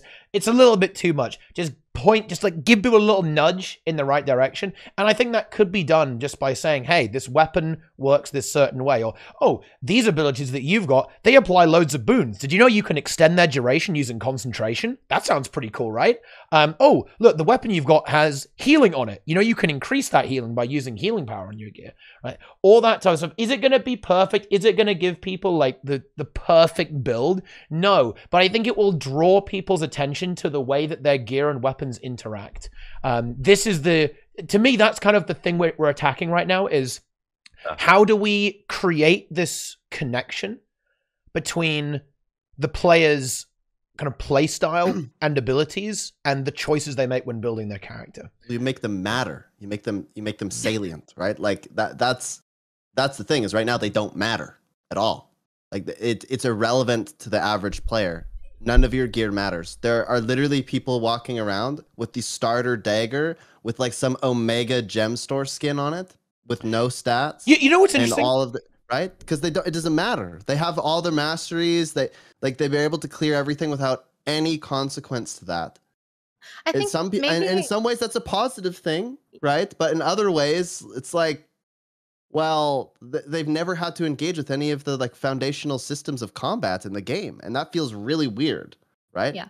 I think uh, playing a little bit of devil's advocate here, I like you said, it's like you know, in some ways that's very good for the game. To y- to be able to kind of log in without really needing to worry about doing your research is a much more relaxing experience than like figuring Mhm. out every tiny little thing. You know, like a lot of people play this game just to like kick back and relax. I think if we're talking about this, I think we're very much kind of branching into the realm of accessibility, right? Like not just like, you know, accessibility again, not just for like, you know, disabilities, but just accessibility of information. Where if, if we had to like, you know, think how are we going to put this into the game where a lot of people would see it with very little like, you know, intrusion into their actual gameplay? I think that's the answer that we're trying to target here, right? It's like how do we get this information to the player without intruding on their time playing this game, right? And it's I, I think some a couple people kind of mentioned it in chat. It's like you know tooltips and stuff, right? It's like Yeah. you see in a lot of like loading screens for many different games, like even freaking League of Legends has this, right? Where they just have a one line sort of like, hey, this is a thing that you might want to know or something like that while you're like loading into the game because what are you going to do? Stare at the little twirly thing in the bottom right hand corner while you're like loading in? May as well just like toss people a bone there. Again i'm not saying this is like the only solution but i think making the information accessible to people in a way that like doesn't feel like you're forcing them to do something because i think making people receptive to information is just as important as giving them the information. Like you can it, it- what's the saying? Like you can lead a horse to water but you can't force it to drink right it's like you Yeah. need to be able to provide the information in a way that people are responsive to it because you can scream at them all you want you can like you know type in all chaps and cap map chat but nobody's going to listen to you unless you like give uh, you, you kind of incentivize them to like listen to you you know. So, something else as well that I think ArenaNet could do that would be really easy to implement because they've already got it in the game is that like PvP, when you go to play your first match, the game tells you if you're missing something, if you're like missing runes or or, or um sigils and stuff like that. And I think before people jump into strikes and raids, it 100% at the very least should give them that alert and tell them that like, hey, you're missing this stuff. Um, they've already got it in the game with PvP, so I feel like that surely would not be too difficult to implement. For- It does that if you have like unselected stats. That's that's what it does. Do. Yeah, Right. yeah. I but not if you're missing really an item. I- If you have like Like no back missing an peaks, it won't tell you. Yeah, like oh yeah, you just got you just got no armor. You know, it, it should definitely do this with runes, okay? Because runes Yeah. is dev- uh, definitely something that people miss out on. They're like, oh yeah, you know, like I just you know I've got my gear, don't need the runes, right? But actually, Right. you probably do want the runes. Actually, now that you mention that, I feel like the tooltip, it's really good the first time you see it. I just feel like it's very inconsistent, right? It's like I remember if you first started like Heart of Thorns and you're like leveling up your gliding, it would like create the little like pointer thing down at your mastery bar when you hit like level one, right? And it would tell you to like level it up, right? But they don't do that consistently across the other stuff, right? It's like let's say like you leveled up your raptor. They're not they're not going to tell you, even though some people might just skip ahead to Path of Fire. And then same thing, at least in my experience, I don't know if like somehow I like magically turned it off or something. I didn't get any pop-ups when I was filling out my EOD masters. And sometimes the EXP would just be sitting there and I'd completely forgotten about it. Right. And this is coming from someone who's played this game for too too long. So it's like, you know, if I've forgotten about it, think about the new players that also would have forgotten about it. Right. And it's like the tooltips can also be used, like you said, as like a force for good, right? It's like you point out, like, hey, you have, you know, you're like, check out your runes, you know, like you don't have any like rune matching sets or something like that. Or you're missing the back piece, like Teapot said. Or like maybe let's say uh your your weapons and stuff, maybe you don't have an offhand on one of them, right? It's like, you know, you're missing two skills here. Just kind of like a gentle notification, maybe with a decision to opt out of them, right? It's like, you know, if you're like a veteran player and you're just messing around with your build, you don't want pop-ups everywhere, right? So having like the option to opt out of it, but having the original option to be opting in, I think would be very helpful. I I think Yeah, okay, ArenaNet shouldn't uh, be too scared of tooltips. Um, I mean, wants to get in. like, we would- I, yeah, I, I mean, we- I have. yeah, see. I'm just really, Get I'm in. really troubled Burst by in. what I'm about Explode. to say. I'm, I like. Erupt. Here's the problem. Like, th- this is gonna make me sound like super doomer for a second, but everybody, everybody, like, hold on to your chair for a second. None of that really matters if if people aren't going to change. Like, it. None of that really matters if your stats don't matter, right? Mm. So like you can put the tooltip, but the reason that people ignore the tooltip is because they don't receive any sort of reason for needing to do it. Right? How It's would you make like- it matter? Is my, I think that's the that's the conundrum. How do you make, how do you make those stats matter?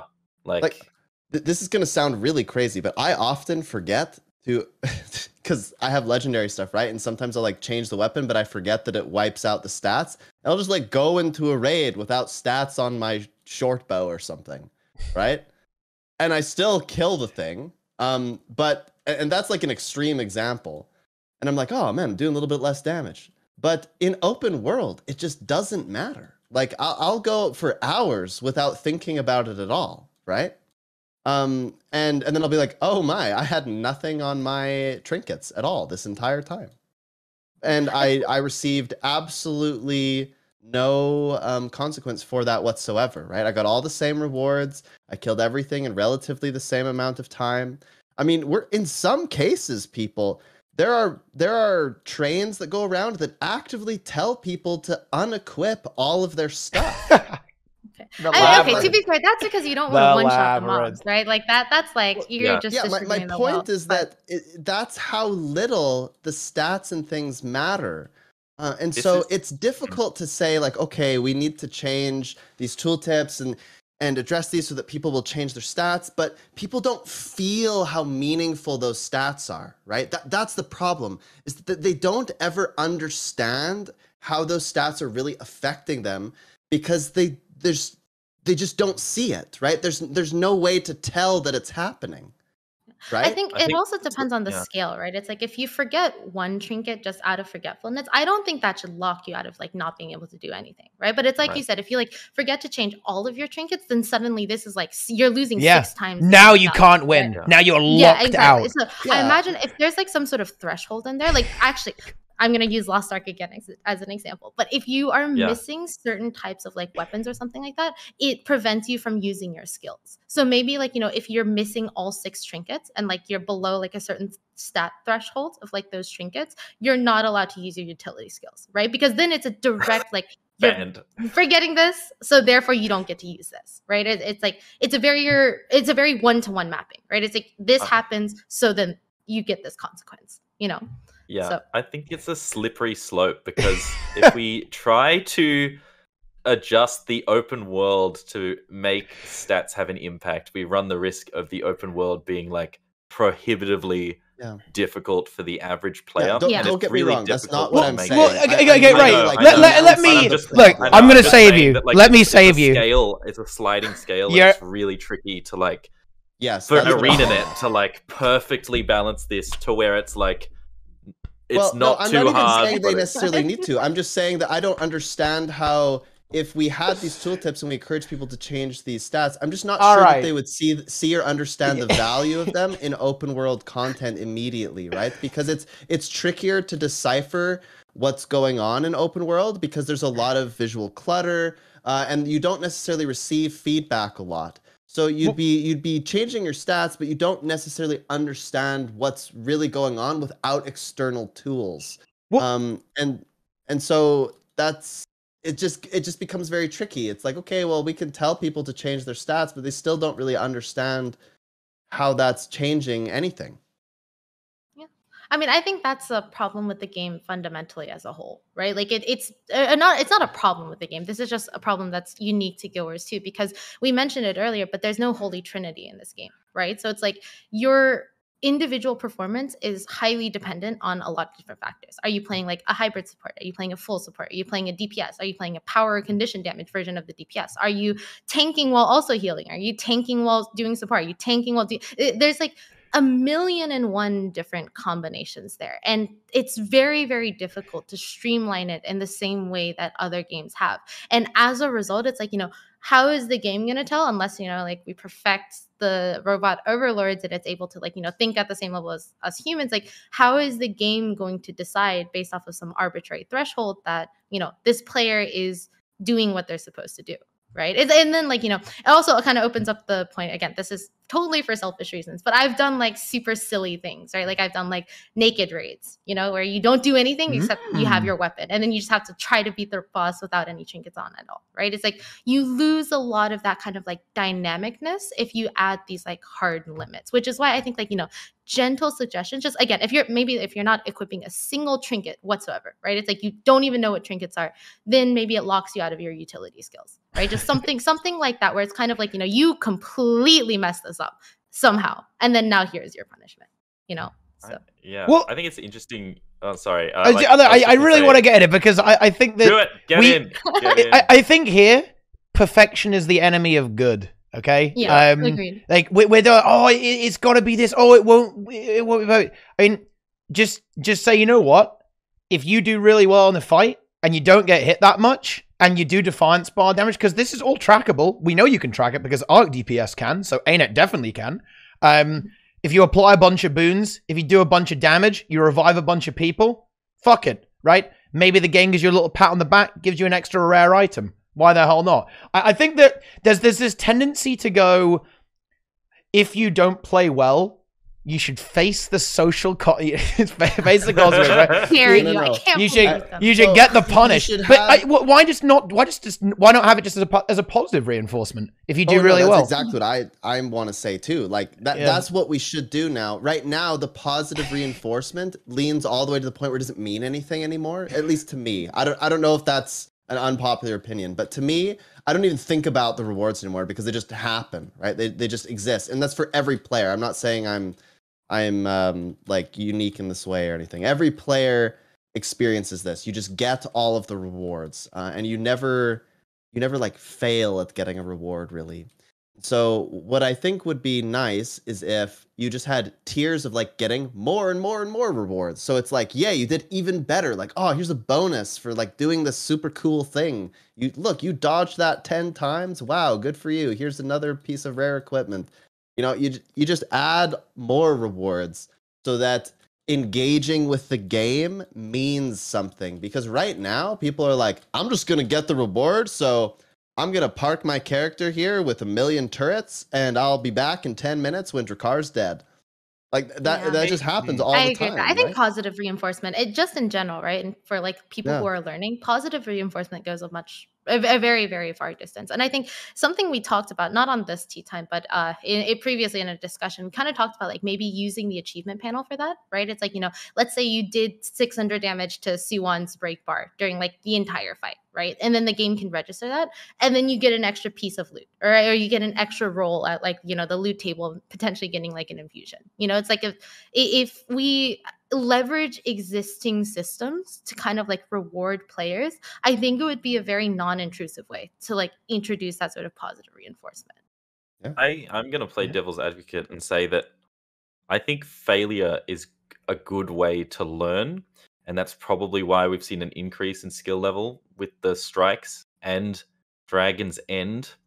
And I personally, even like you know, as someone who plays this game a lot, if I got more rewards for doing like CC, I don't know if I would like just the way that rewards are in Guild Wars 2. I don't know if I'd like care that much, and I don't know if like new players. Oh, you're telling you Would even care about the know? No. Oh my god! Yeah, but it's like, and I don't even think I don't even think if they implemented something like that that ArenaNet could really easily communicate that to new players and tell them if you do better, you get better rewards. I think in every other game that I know, it's like if like, this is deja I gonna mean, it can be both, right? It doesn't be need to be just it one. can be both exactly. Um, but I just I don't know. I think failure is good, and that's the way people learn in a lot of video games. Is that if they fail, they need to do better, and without it, um, it- You, you're gonna have just- both though. You can have both. For example, Yeah, on you need to have on on Absolutely. Soo-Won, thi- this is what Yeah. people have been saying, and honestly, this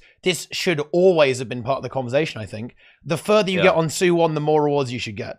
Right? You know, if you Mhm. fa- thi- this is the problem with Guild Wars 2. This is actually a huge issue with Guild Wars 2. That massive. This is a tangential topic, I guess, with players getting into harder content, but is the fact that that you either get all the loot or you get literally fucking nothing. Okay, so Yeah. if you fail Soo-Won, well, unlucky, buddy. Right? You get you get seven copper and three k XP.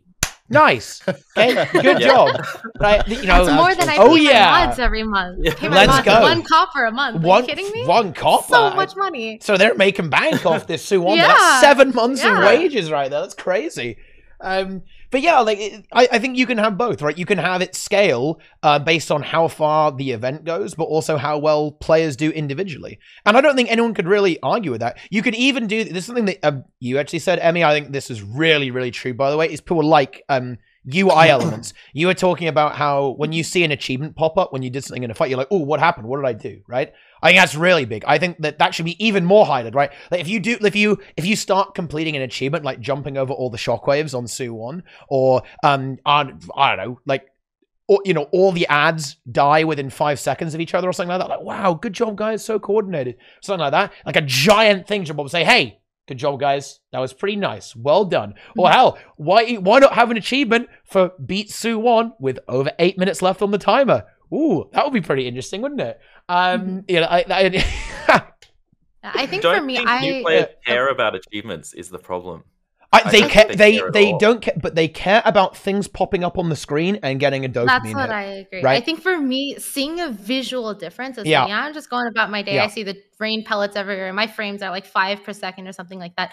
And then an Mm. achievement pops up in the bottom right corner. I'm immediately like, oh, forget the boss. Let me see what this achievement is. Yeah. And I, I, I like click on it and I'm like, oh, it's because I did something, something. Maybe not quite to like, you know, that extreme. Maybe not just like an achievement thing down at the bottom, but maybe like, you know, something happens in the fight, right? It's like if you manage to like achieve something, you get like an audio cue or a visual cue or some something to kind of like indicate, just like drawing your attention to what they want you to be paying attention to.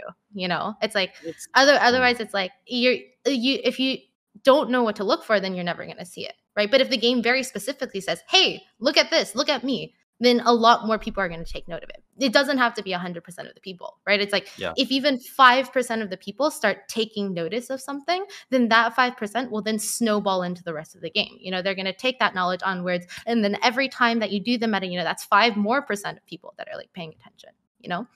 Yeah, it- it's like Yeah. Ayer said. It's like I see box, I click Yeah. box. It's just, it's just a, I mean, it's a reaction. I think it's So- an element that could be added for sure. Um, and it, yeah, I mean, it'd be a good thing. Uh, but I don't, I don't know of like any other MMO or like, game in general that really does that to that degree. Like, really just tells you that you're like good gameplay. Here's a sticker every single time you do something good like in the game. You know? Yeah, yeah. But it's just I'm, I'm trying to think of like the brand new player that like comes to Guild Mm-hmm. Wars 2. Um, and that would just feel like a bit free to play to me to have these like alerts all the time telling you you've done a good job at everything you've done. I think it's definitely I like think there's an element there that would be good. Um, Yeah. It's just a matter of how much you want to to be. I mean, rotate the Right. dial. I I think that's kind of the way games work these days. That's I think that's the way that all the player base engage with the games. Is that it has to be there's a lot of feedback, lots of visual feedback. Open the chest, get the loot. I, I think the best and look, I'm not saying this is a good thing, but look at mobile games. Like even though the games aren't even Oh. good, how do they engage their player base? It's like, oh, bonus chest, open this, open that, get the loot, get those items, daily login. Oh, you just unlocked seven chests, open all of them, right? Go and like spin the wheel of fortune and get another random thing there as well. It's like input, input, input, right? That and I- think mobile games, there's a lot to criticize there, but you can't deny that the way the modern generation, or the modern generation, the current generation of gamers interact with games definitely leans in that direction, right? With a lot of feedback, constant feedback. Uh, and and input from the game, like telling you, oh, you're doing something well, you're doing something, you're you know, you're you, this is good, this is keep doing it, keep doing it. And well, I mean, like aside from that, maybe being a little bit psychologically unhealthy, uh, that that is how players behave, right? That is the behavior pattern of players, and you can see this in modern MMOs, right? And I think we were talking about this a, a little before the stream, Bloom. But I played the WoW new player experience the other day, and holy Yeah. shit, does it hold your hand? Oh my god! Good. Right? I um really. I, I did not expect it because I hadn't played um retail WoW for, for ages actually, and it literally walks you through every single ability you have and how you would use it and all these concepts. It even it even has like a crowd control tutorial, which is quite interesting actually, right? Like you know, I, I was playing mage and it was like, oh, you need to polymorph this guy, right? Turn him into a sheep for this reason. Oh, this is how you might use that ability. What an interesting idea! Uh, and it re- and and the entire time it's spamming UI elements at me. The entire honestly, I, it was annoying me at the end. It was too much. It just kept doing Yeah. it. Oh, you got a new item, equip it. You got a new item, equip it. Oh, you know, there's a quest over here. Go and look at that. Right? Oh, there's a secret Yeah. on the map. Go and look at that. It was constantly inputting me with everything. It is. Yep. It's almost the opposite of what Guild Wars 2 is, and um, I imagine it works really well. To be honest, I actually. think it's yeah. I mean, it's a great tutorial area Mm. because I've I've loved it as well, and Mm. I think I think that's the thing is those UI elements and stuff. I think they need to be front loaded into the start of the game, not at the end with Mhm. the open world and stuff. I think having those heaps of like UI pop up UI pop ups and like good job doing this, that should all happen like at the beginning of the game, and it scales off as you hit like level eighty.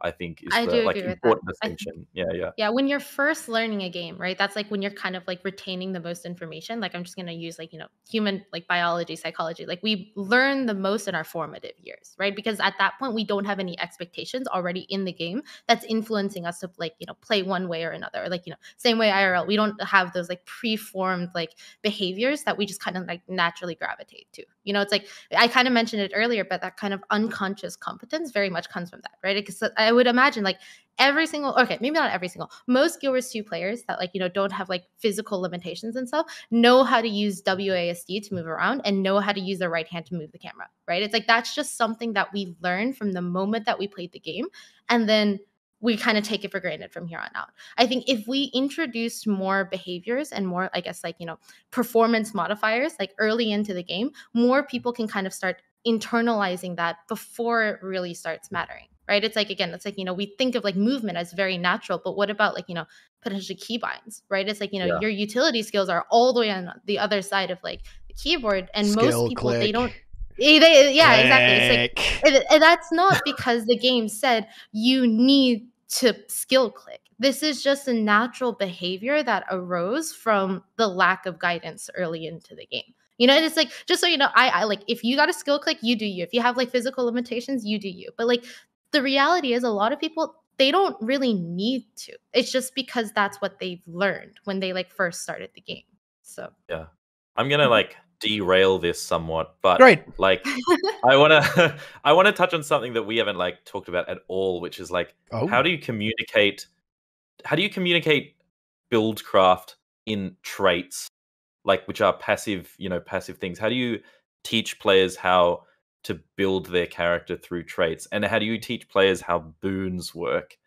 Because that is such a complicated issue that i am kind of like yeah, lost on you know? That stuff's really complicated and the game doesn't really ease you into that especially i think the initial leveling experience is really tricky because you're given hero points and you have to divvy that up between active utility skills that do a thing or you invest them into passive traits which nobody wants to pick because they're new players and they want to see new skills. Um i my thought my immediate thought is that all specializations should be rolled into like an elite spec wheel where you're unlocking utilities and traits at the same time throughout the whole ring rather than having this stuff separated because nobody wants to pick passive traits over active skills um yeah i don't know what are your thoughts on that like I I think, think the that there's. Oh, sorry. Uh, yeah, I was going to say. I think there should be just a, a giant glossary or or index where you can look up any skill in the entire game, and it would like categorize all the different effects. Maybe that would be a little bit. I, I that might be a little heavy-handed, but I think that is the most practical solution that I think would be realistic. So you could open up this window and you could look up any skill in the game, right? So if I'm on my Guardian, right, and I'm just, oh, dude, I'm playing Guardian Pog, and I play PvP, I'm like, I play against a Specter. It's like, whoa, this Specter just farmed me. What the hell, right? And then I could look up Specter, and it would Yeah. let me look at every single skill that ha- that, that Specter Yeah. might have, right? Yeah. Um, and I could look at all these key effects, like, oh, what does protection do exactly? What does um, vigor do? Even if I don't have it on my build, because because this is a weird thing, slightly subtle thing actually. If your build or class can't apply an effect, you can't easily look at what it does. Right? You'd have to go Yeah. and make a character that has it, um, and then Yeah. look at that effect. That's kind of weird. I have a suggestion for this actually. Yeah. yeah, go ahead. go on Um, this would be very simple. I well, I say that, but all the devs are going to be like, "Eh, it's not." yeah, right. Um, what if when you went into your hero panel and you went into build, Oh. you know how it shows like your skills, and then there's a bit of dead space up there. What if that just showed like what conditions you do and what boons you do or provide, and it just had like a little summary of like according to what you've picked for your traits and your weapons and things.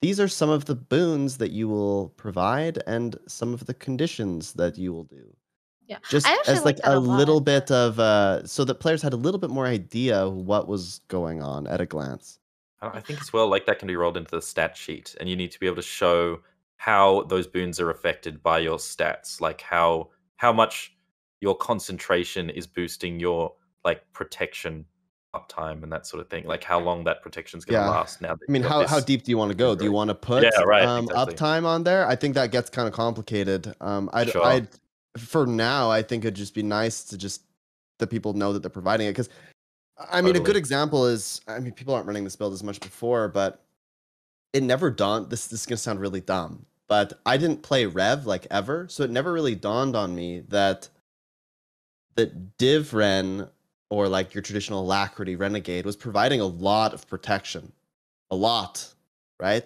I, it never really dawned on me because i never played rev and i didn't even really know that they were providing protection I didn't even know. It. um, so when I started playing it, I actually didn't even realize until I was like, "Oh, these skills are providing protection. What the heck?"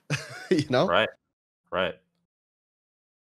I think, I mean, this functionality already kind of exists, right? Like there's like a build template sort of thing where it kind of like highlights like the buffs and stuff that your build is currently providing. I actually like that idea a lot, just kind of like giving like a visual indicator to that. The other thing I was kind of thinking, and this is possibly derailing a little bit since it's only really applicable to like PvP or technically when you die, but having a death summary, I think would also help. Like, you know, like when you died, it could give you like a snapshot Yeah. of like what conditions you had, what Ooh. buffs you had on yourself, like, you know, what was the killing blow, right? Like in PvP, it's like, what was the killing blow? And then you could like mouse over and say, like, I, I I don't PvP, so I, I don't know. Like some someone like you know auto attack you for like eighteen thousand damage or something. like that, Big. right? It's like having some sort of post death sort of like review might kind of like nudge people towards like, oh, I didn't have or I, I I have like no buffs on me, right? Whereas like you know if you had all of the buffs, then maybe you wouldn't have died. You know, Doesn't it do that? Am I like? does it do stupid? that? I- Isn't, isn't there like a little thing you can break down? I swear I was watching like a There stream and he could like track that someone's, mm. You know. There isn't PvP. Um, Okay. like the, Right. I, I think Im- improving the combat log could be pretty good, right? Um, just in general, Yeah, just looking at that, like just making it a bit better because it is a bit. Uh, it's not the most useful thing in the universe. It, it, know, it's it's surprisingly useful actually if you're getting into raids and strikes because you can actually um some of the abilities actually have tooltips from monsters, which, which is actually really interesting. Um, so you can actually mouse over the abilities and kind of see what they do or like what the mechanics are Yeah. named.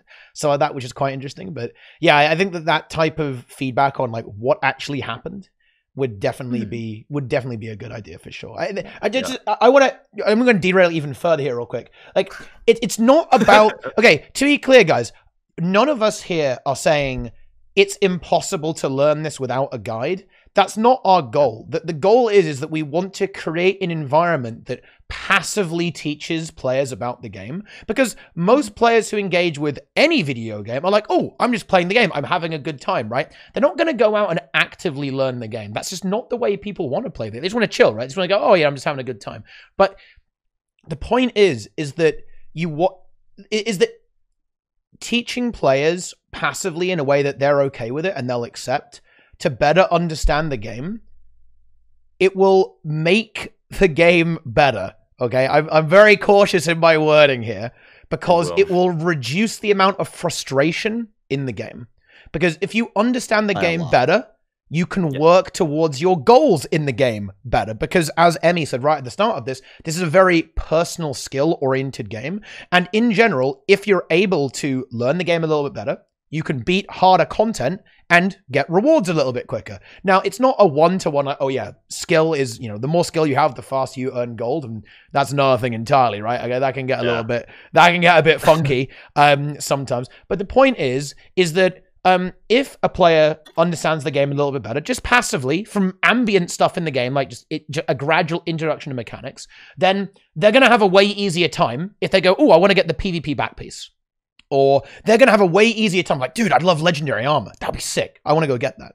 Because right now, because players kind of have a very low ambient understanding and introduction to game mechanics, moving to any of these goals, even farming gold, right? Because if you don't understand uh, like stuff like, hey, even how the economy works, that's that's part of the game too. How items work, how materials work, how mystic forging works, how crafting works. Like if you don't understand how this works, you're gonna have a way harder time um farming gold. You know, a lot of players in my chat say every single, you know, every day they'll go, man, I can't find gold. How do I farm gold, Teapot? I'm earning less than five gold an hour, right? What what am I doing wrong? I don't understand, right? And it, these are the things like it's this type of process that we want to help players get the hang of right? Like and you you don't want them to go right i just google it and i'll solve it. Yeah of course that's the answer right? But players don't do that and they won't and to be they never will okay? It's just not gonna happen. It's not 2005 you're not there in in vanilla wow with your you know your mountain dew right? Just you know just going crazy on your your 640 by 480 monitor looking up Thottbot on the other machine. That word yeah, that's yeah that, that that's not what it sounds like, guys. Okay, that was the original um, name of Wowhead, funnily well, or what? Well, uh, kind of Wowhead anyway. But yeah, that's just not how it works, my friends, uh, anymore. Like you know, we're in the Zoomer era, right? People just want to play the game, right? Uh, and and ambiently experience it, and you have to design your game around that and design your community around that, right? And kind of to jump in on that. So it's a bit of derail but i promise this has a point. Oh, there nice. was a psychological experiment that was conducted and it was at a mm. cafeteria at like a university or something like that. And the goal was going or the goal was to increase water consumption over things like soda and juices and stuff. And what they found to be the most productive was to actually change the environment that people were in. So for example they would add more water bottles near the line when they were checking out or have a bigger quantity of like vending machines and like water was like at like reachable height like right like right in front of you and stuff right? And what they found was that the water consumption went up really really high. I forget exactly the numbers but it was like 150% more water sales. And a lot of people when you know they're in that environment they don't register that. That they're, they're not consciously thinking oh hey they changed the water placement. Let me like make this experiment succeed and like take the water bottle so that they get better and nobody's thinking that right? It's just it's because it's there and because the passive environment has changed human behavior then changes as well right? So it's like if we change the passive environment that 2 resides in then players will then naturally start behaving in the way that we want them to. And you can call that like you know manipulative and stuff. I, I think like mm. you know that's maybe one way of thinking of it. I think it's more just like you know you're just changing the environment as teapot said to make it less frustrating for like you know future content you know it's like if you make this information just like very easy to access then more people are going to access it you know that it's just we we take the path of least resistance Yeah. So- You And I- have I to be very reward- careful, Emi. If you Uh-oh. say if you Uh-oh. say anything scientific or anything that's to do with research, you will get annihilated. Oh, oh, please, please, please help. I, I'm just, I'm just trying to like illustrate a point right now. Like, obviously, Yeah. I don't, I can't like recite the paper I mean- off the top of my head, but you know. Are you sure it was think- peer reviewed? Oh no, it was peer reviewed by my cat. Yeah. Yes. it's way more. It's way more legit then. Yeah. I, I No, think like rewards are a great incentive, and I think it's interesting that you brought up Lost Ark earlier, Emi, because Lost Ark, arg- like I have a lot of things to say about it, but like, um, arguably Lost Ark has even more systems than Guild Wars 2, but it introduces them in a way like the way it introduces you to those systems is way more effective than Guild Wars 2 does, and it has like a smart thing that I think Guild Wars 2 could also implement is it basically just has like a reward track that is shuttling you through different content and for each piece of content you do you get like an actual useful reward like it'd be cool if there was basically just a reward le- like a, a checklist where um, Mhm. it'll just introduce you to stuff and doing one strike gets you this piece of stat selectable gear and then doing one fractal gets you this piece of stat selectable gear and it like has meaningful rewards tied to doing everything you know once in in like a a um an understandable order would be really good i think Yeah. No, I, I agree. I, I think that that's definitely goes into the kind of like the player guidance element. I think stuff like that's really good. Um, that you know, there was a bit of a like semi leak about this that maybe they're looking at something like this, like some kind of seasonal achievement that they were developing. They showed Yeah. it off when they were looking at the um, think it was like the new Kaineng. map. I think, yeah. So it looks like they Yeah. might do that. We haven't heard anything about it, so it's not confirmed. But like they were at least maybe poking at that. And in general, I think that's just good because um, I'm gonna t- look, Anet, I'm gonna give you a little tip, a little bonus meme, right? Sending players um a mail at level 80 is not good Yeah. enough to make sure they're gonna look at fractals, right? Or, or anything like way. that. It's just not gonna work. Uh-uh. It's not how it You works. know? I um, think I- yeah. I have a solution, sort of, in that like one thing that every player knows how to do is follow the green star, the main story step that just has the green star. And I think every single expansion, when you finish it, should send you on this like I don't know, make it an orange star that sends you through like end game content, and it's it's optional, but it just gives you this optional objective that just says complete fractal once, and you get some reward from it. Tie it all to like that. I mean, it yeah, the story journal. Just tie it to that and have those objectives within that because everyone knows where that is. Um, whereas achievements, if they added an achievement for doing a fractal once, which I'm, I'm sure there are achievements tied to those activities, everyone ignores them because they're like just Yeah, buried achievement under panel is all these very- achievements. Very Yeah. archaic, I think. Yes, A lot of like, That's I a- think the UI elements are very archaic in this game. It's a testament Right. to how old it is. Yeah, yeah. I think a lot. There's uh, yeah. Speaking of the achievements panel, that's like a whole other discussion because there's stuff Ooh, in the don't, ma- achievement panel. don't mention the like, UI. The UI is the Oh, forbidden. I'm It's the going to. forbidden. I'm going to. We need to talk about it. Like the um, the uh, elite spec collections that give you a free piece of ascended gear that you can stat swap basically to whatever stat you want. That's hidden in the achievements panel with everything else, like with with a fishing achievement. You know, like that that stuff should be moved over to the story journal. I think it's like a side story thing. You know, be right back. And my kid's woken up. I'm just gonna like be right back. I'm gonna dip, you know mute myself. He's out. He's Yeah. ducking Just- out from the firing enough line. time, I'll be right back. Yeah. I'll be right back. Just- Oh man, I thought chat was gonna definitely make that. You know that little blue face, the one that's like really shocked. I thought all Oh. of them were gonna put that. Yeah. The horror. The horror of the situation. Um yeah, like th- this the, the UI stuff is definitely a, really important topic and I, I hope they would look at that kind of stuff and create ways for players to engage.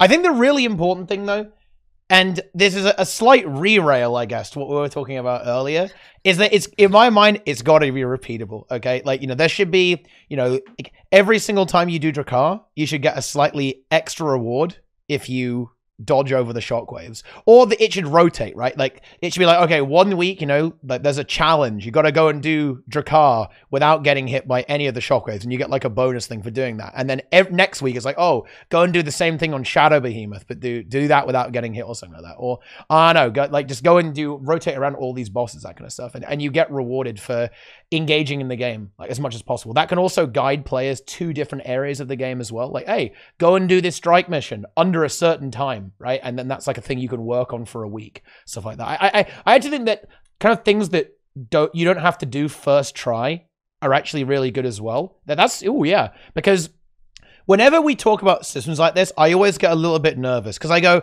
oh look, you get more loot if you kill the boss faster. Well, that means that if people end up in bad groups, they're gonna get big mad, right? It's it's the reason why the strike missions, um, the strike missions, the gold, silver, bronze thing, it's like worthless. It does nothing, right?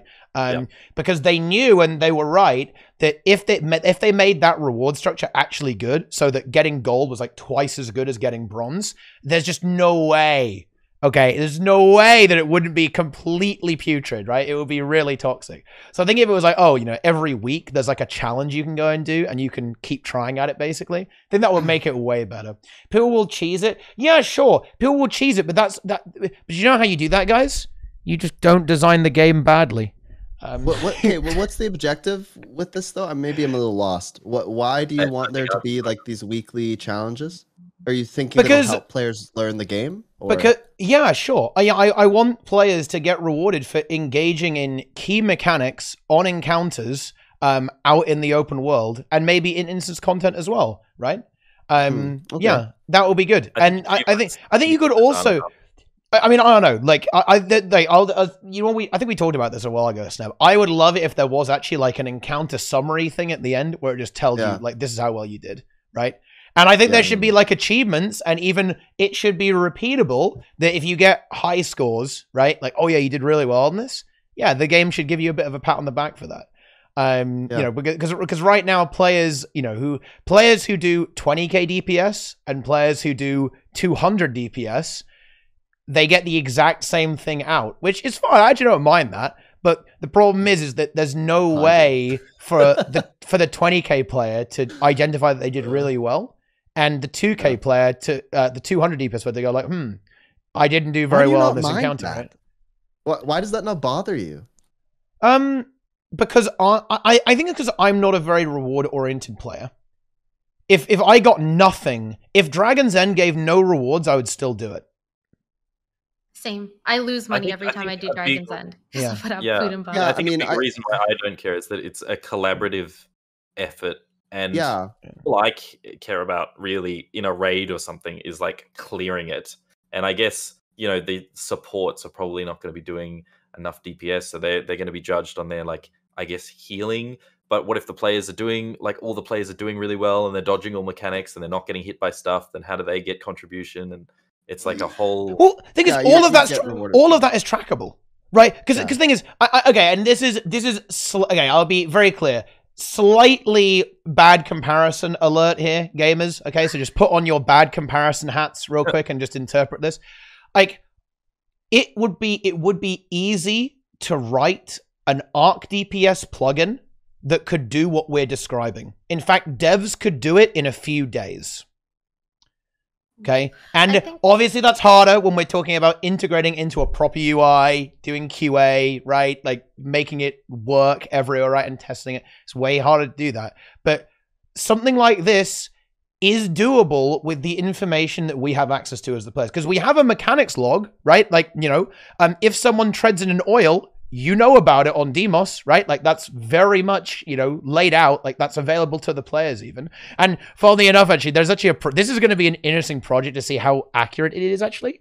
Um, but the there's a developer working on something called RaidCore.gg, which is basically going to be a parsing website for Guild Wars 2. But it's Oh, also- oh, It's also going to incorporate a mechanical failure. So it, it will look at stuff like damage taken and how many abilities you've tanked, and your rating will be adjusted based off that as well. So it's not like this technology couldn't exist.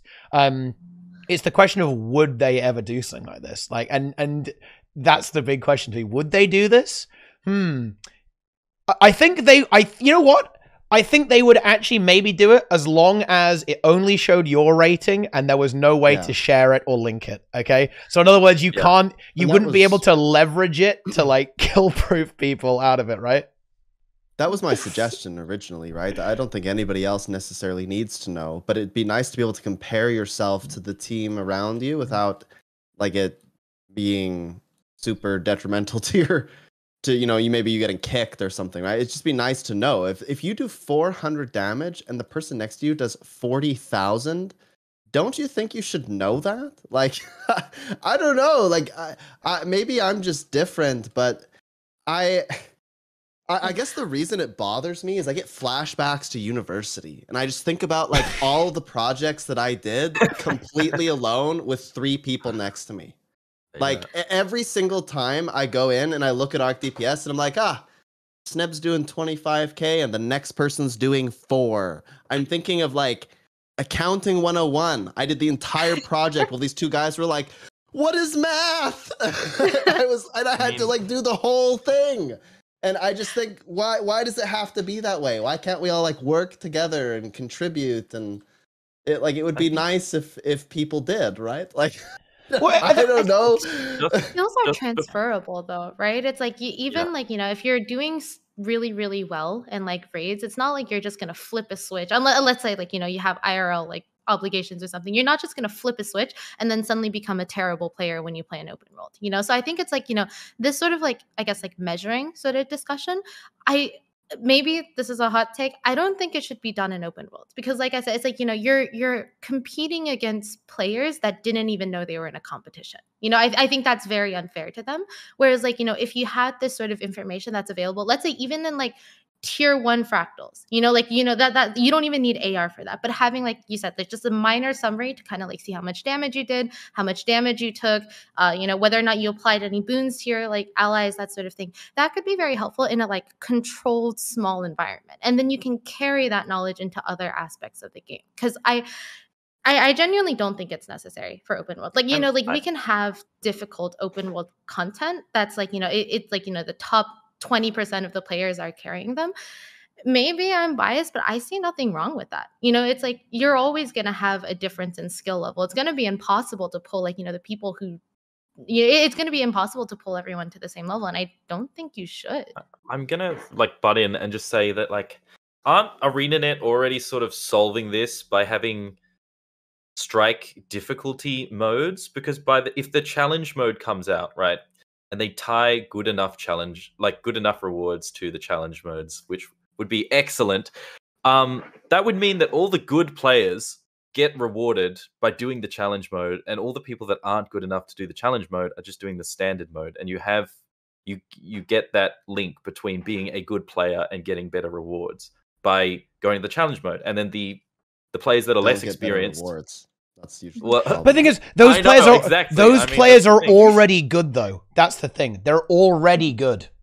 That's the problem. If they go, if you're the type of player who's going to go and blast strike CMs, y- y- you you know to a s- to an extent you aren't relevant anymore, um, because you've already made it.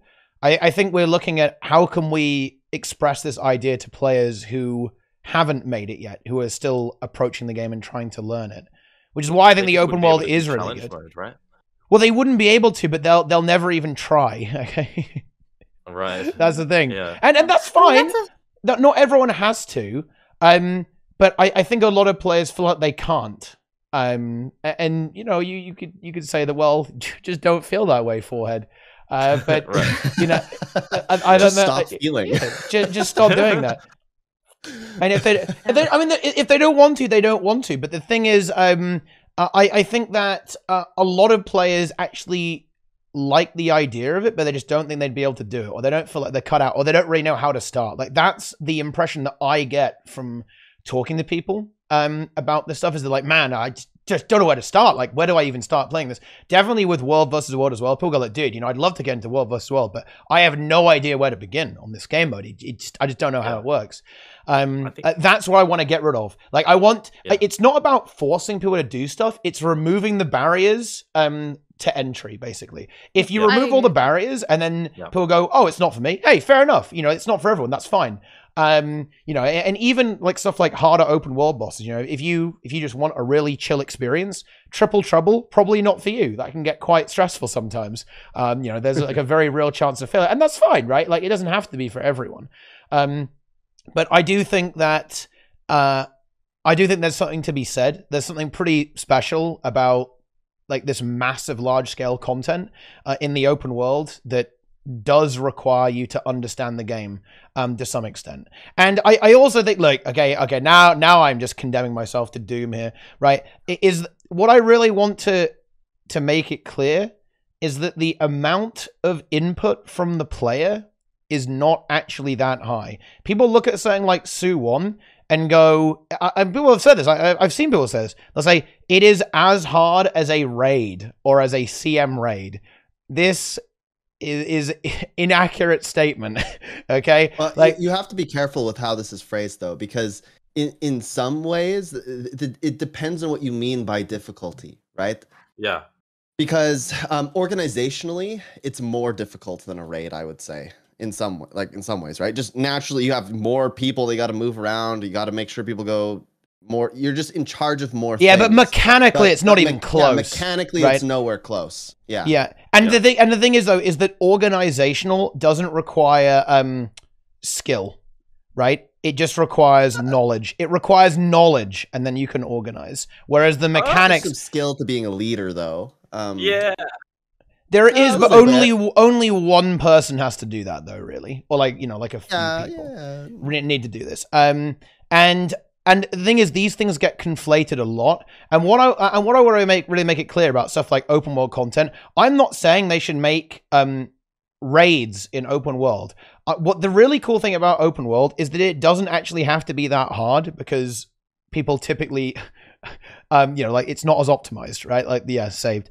Um you know it's not as optimized in open world. So something can be very very undertuned right? Or not that tightly tuned and still be really engaging. Great example is Soo-Won um if you again you can crunch the numbers on this and, and i'd encourage people to check. Um one has 173 million hp if you took 60 raiders um the boss would probably phase in less than 15 seconds on 20%.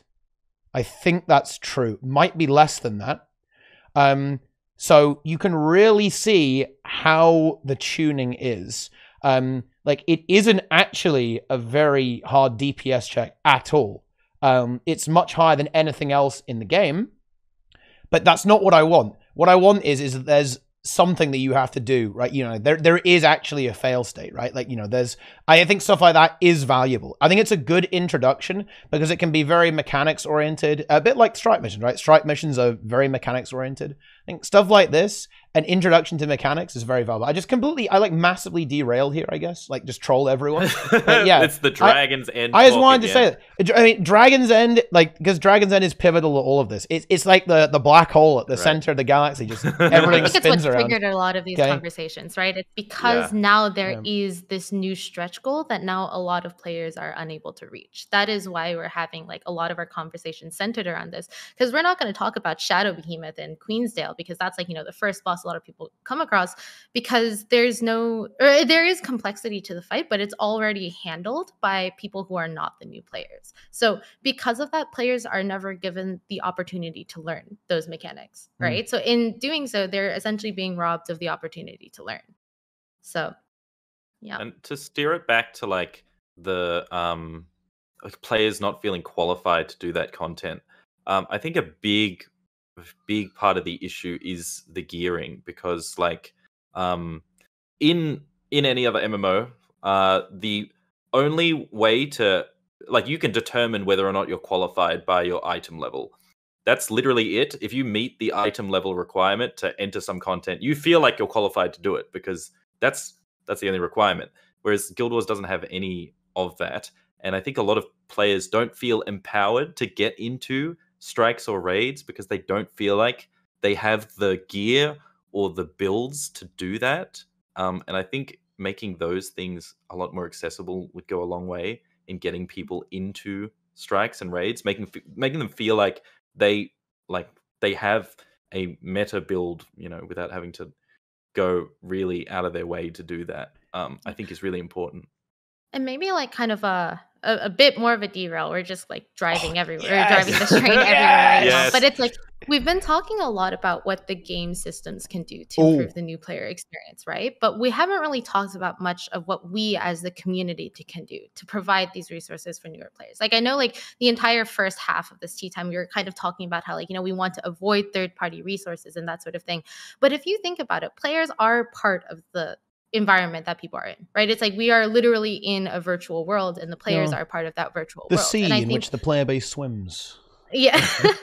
Yeah so it's like a, kind of like a conversation of that is like you know making it more accessible not even just for new players but for commanders to be able to provide these resources for newer players. I think it, it would have a massive indirect impact on the new player experience because like you know we can kind of see it like you know in queensdale sometimes people have on mentor tags and they say in map chat like you know feel free to ask me any questions. And the thing is i see a lot of people taking advantage of those questions right? Like when you're running around doing map completion or like the dailies in the lower zones and there's a mentor tag they're constantly typing in map chat because people are willing to engage with them because that's a resource that has been given to them. You know they get the mentor name in front of their name they get the little apple tag you know there's like a certain level of prestige to it too because it draws attention to your character model right? So in that that would be an example of like one resource that has been given to the community to help enable other members of the community. And i think if we I, I obviously you know i'm not saying specific like you know solutions and stuff here but if we had more things like that like we talked about it briefly the other day but like you know potentially like giving a commander buff and then you like see more people commanding so then you see more people that are willing to teach new players these concepts and then it creates this positive feedback loop right? It's like more people that know the mechanics are then more inclined to start commanding themselves and then they start impacting other people that might want to like start doing that sort of thing and it creates this loop so I, I like this topic because, like, um, I think the biggest reason why we don't see more commanders is that a commander tag costs 300 gold. That's Yeah. literally it. I mean, Mhm. I've I've wanted to command raids and and strikes and that sort of thing for so long, and even I have never felt compelled to spend 300 gold on a commander tag. Is I it because you don't think the tag- value prop is there, or is it because think- you don't have 300 yeah. gold? It's uh, both, uh, especially for like new players. New players are never like they're just not going to have 300. You're not going to have 300 do- gold. Yeah, no when way. they when they do, there's so many other things to spend that 300 gold on. Um, way like way before getting a commander tag. You know, like it's really Yeah. tricky to get that. And I think being able to move squads around and that sort of thing without a commander tag is really good. In fact, I like. Does there need to be a, that much of a gate to getting a commander tag? Couldn't there be something else Mm. that's not gold related? Because new players aren't going to command a tag up if they're if they don't know what they're doing. You know, like Do you think it would I- be a problem to have everyone have access to a commander tag? I'm I'm not saying that it necessarily would. I'm just curious if there's any any ramifications to making it very accessible.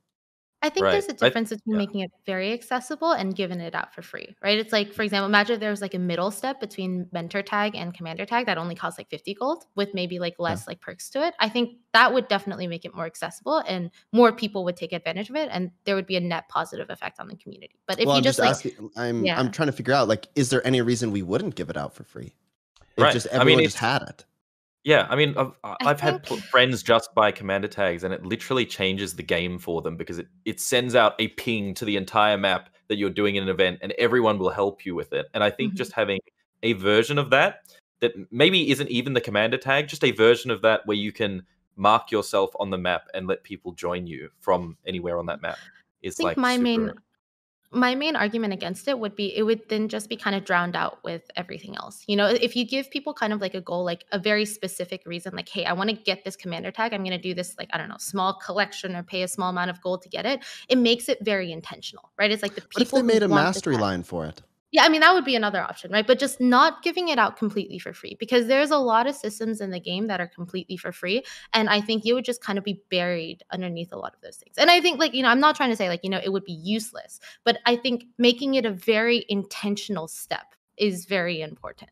I think, I think I, what that's my personal. what opinion. people are saying, like, just I reckon, just roll it into the mentor tag because that's a mastery, right? And you Mm. can just anyone can well- do it, and just letting people join on that mentor tag when they're anywhere on the map, and let mentor tag move around squads. Like, Maybe mentor tag. Um, you just remove. You just no longer call it mentor tag. Call it like tag one, and that allows you to tag up for a squad of ten, and then the next level is the commander tag for a squad of fifty. Yeah, I mean, we could also even okay. Again, this is I feel like this is pretty derailed, but like if we're gonna go on to this topic more, we could just make the commander tag upgradable, right? It's like you start with the Yeah. mentor tag, and then you can start adding upgrades to it, so then you can get larger and larger squads and stuff. I mean, I- that could I'm- possibly be an idea, but I don't know. I feel like it wouldn't make that much of a difference, right? Because like the thing with commanding is it literally puts a target on your back. And the types of people that are willing to put that target on their back and leading these events are likely going to go after the commander tag in the first place. Whether or not like re- regardless of the 300 gold price tag specifically right now. I'm just talking about in terms of mentality, right? It's like What? not everyone is comfortable with commanding. Yeah. I, I think, and that's, you know what's really funny about this? I tested this.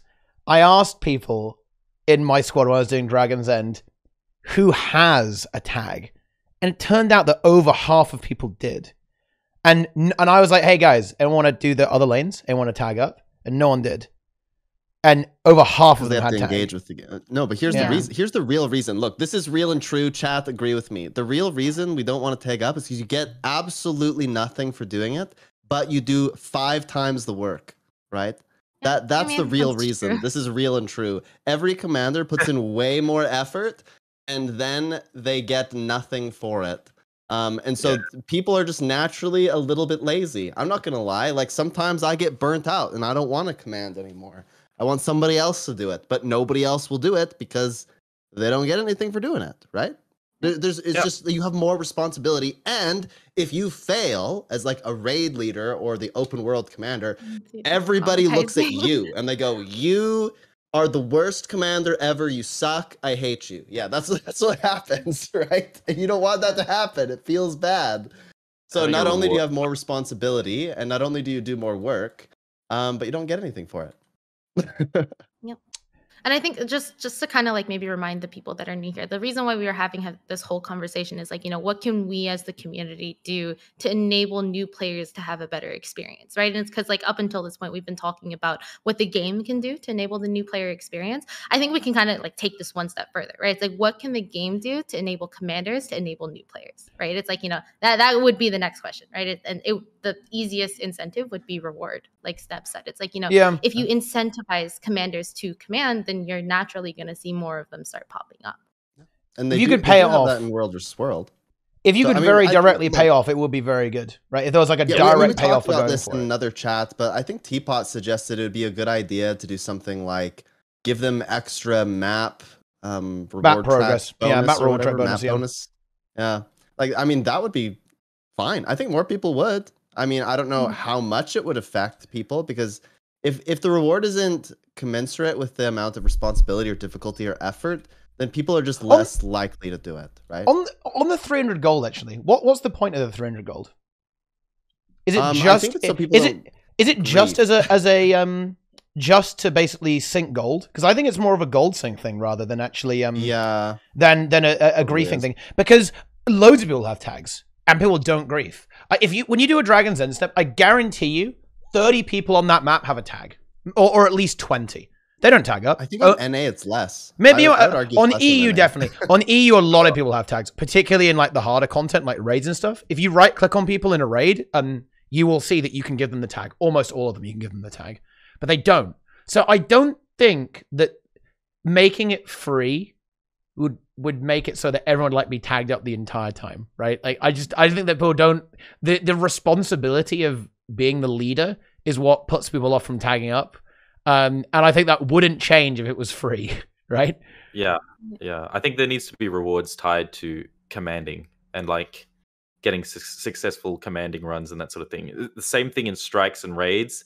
If commanders got extra rewards for I don't know, like leading new people. I know Final Fantasy does this. They have like the sprout system where new players, if there's a new player in your squad, you get bonus rewards for completing that run. And I think that's that would help a lot with the LFG as well. You'd have more people, you know, doing like weekly clears in the LFG because they get bonus rewards for helping new players and that sort of thing.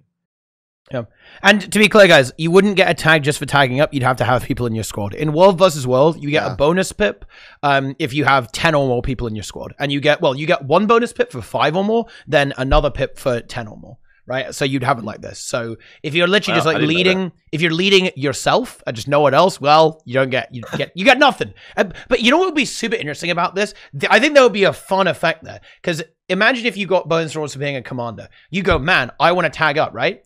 Um, but what if there's a commander on your map? Well, now you want to go to another map, right? And make your own map and lead that map too, because you want to go and get the bonus rewards, right? Instead of staying on the same map and just kind of like, oh, okay, I'll, I'll just like play along. So that would actually really propagate a, a lot of this, which, and, you know, just to kind of steer this back to what Emi said, because, you know, we're kind of, we've already gone back to the in game stuff, but I do think the, um, community stuff is huge. Okay, the example I give is that look, if um when Dragon's End came out, we had around like six to eight people leading Dragon's End. It's it's all, it comes back to this meta event, guys. It's it's the most important meta event in history of um, we had six to eight Yeah. people running it every day. And I actually think that made a difference. You know, a lot of people got the event. Like we had like 7,000 people join the Discord. That was pretty good.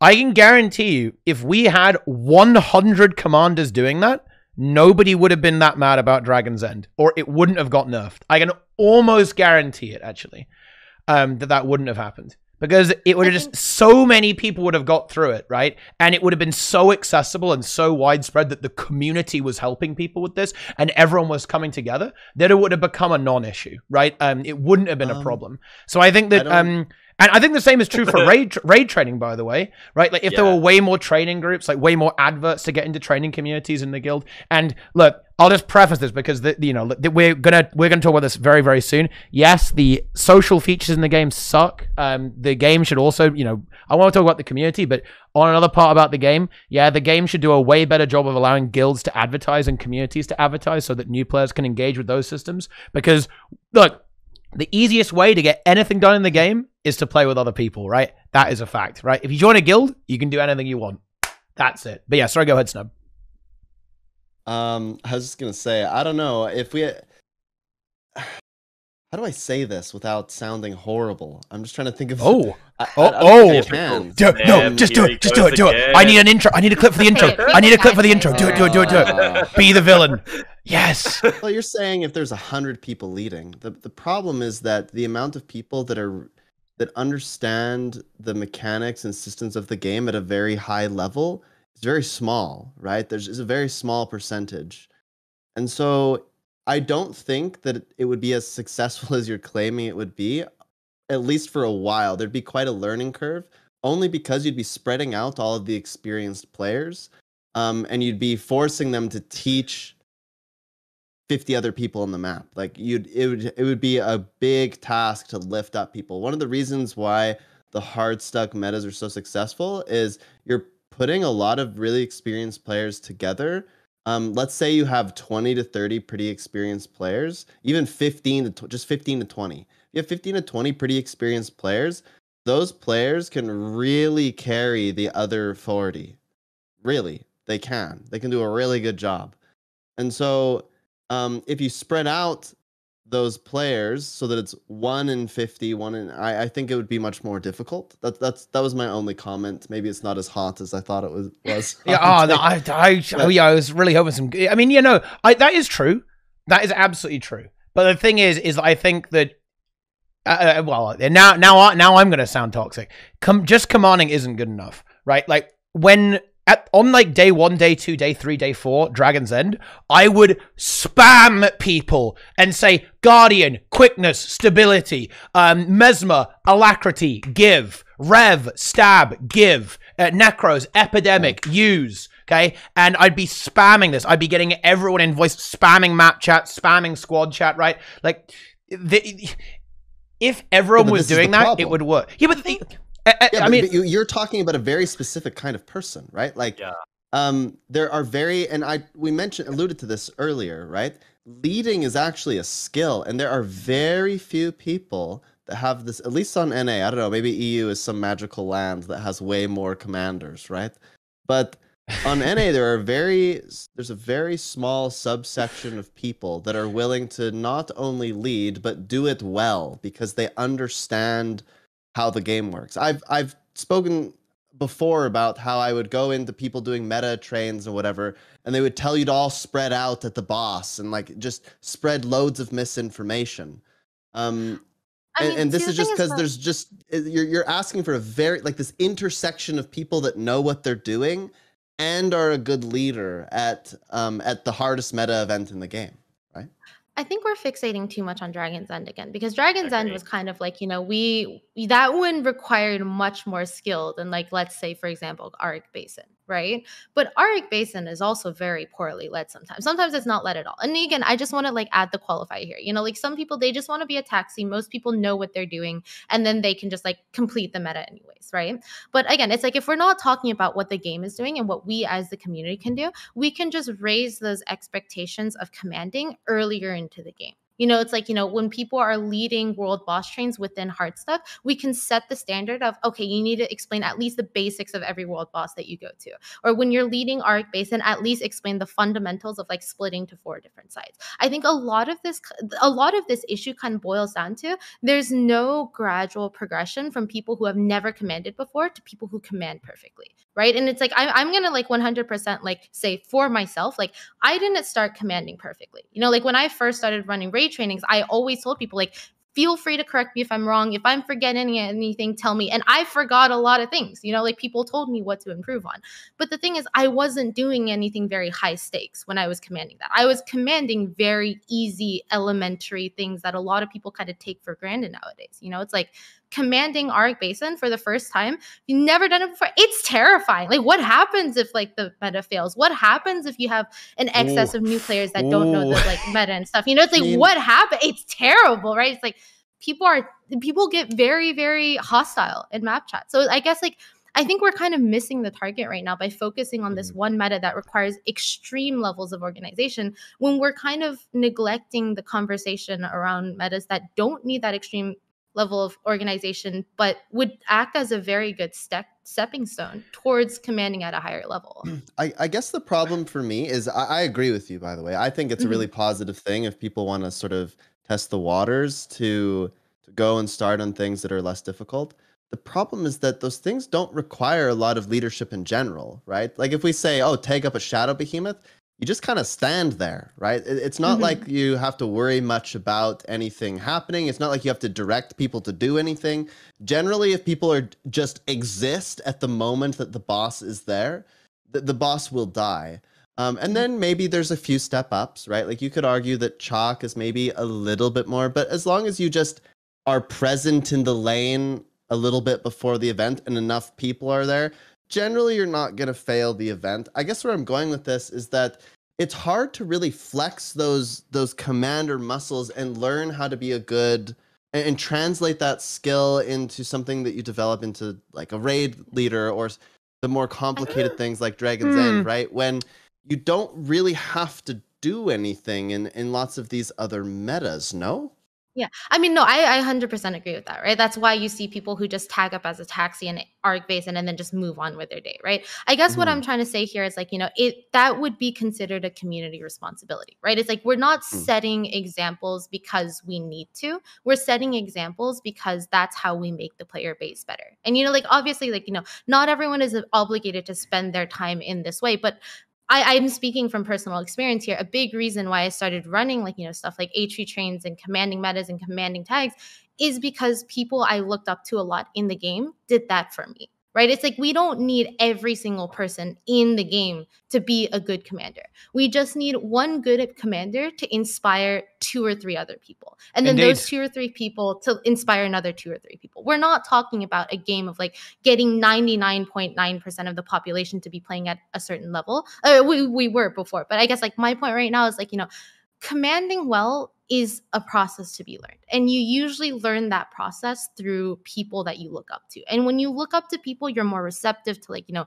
improving your own skills. You're more receptive to like maybe coming up with ideas by yourself and like that sort of thing. So it's like, you know, if like I've I've had people like message me for the copy pasta and I'm like, yeah, take it and stuff. And then when I join their metas, then I see other people in the chat kind of like rallying behind them, being like, yeah, like, you know, don't forget this thing, or like everybody, like, make sure you're like helping the commander out, place out food, eat food. Like, you know, people want the commanders to succeed. And then those commanders, I'm hoping, you know, maybe like two or three years from now, if the game is still alive by then, they're going to inspire other people to do the same thing. You know, so it's I, I think it's like you know th- this is definitely asking a lot. I, I don't think this is a small task. I think it is extraordinarily difficult to like do or put in effort when you know you might not be compensated for it. But all it takes is just like one person to inspire like a few more people, you know, Yeah. to get that positive cycle started. Hmm. and and this is exactly why I was I was I, I brought up Dragon's End actually. It's because you know that that's kind of the point. Like the same things that you do there. Like obviously it's not as high stakes in Octovine, but if you do that same thing and you say, right, gamers, try and give quickness, try and give alacrity, right? This is the perfect way to introduce stuff to people in a really cozy environment, right? I wasn't saying that, you know, you have to go to the chat and go, yes, we're going to destroy this chat, guys. One burn every single time, per execution, no down states, full DPS. No, but you go, okay, right. Um, we're going to organize everyone into subgroups. We're going to make sure that everyone's got the boons about right. And we're going to try and do the fight pretty well right? That's what you want to encourage people to do. Like that's what our commanders do. It's this the the exact same skill that you would use on the Octovine will work on Dragon's End. As uh, the same thought process, right? The same idea, right? And, and that's why I view Dragon's End as so interesting and so pivotal to this discussion because it's ah, I, I, don't know what I'm trying to express exactly. the thing, the thing about Dragon's End is that the stuff that would work if you if you did stuff really well on Octovine and then did the same thing on Dragon's End, you would win and it wouldn't even be hard.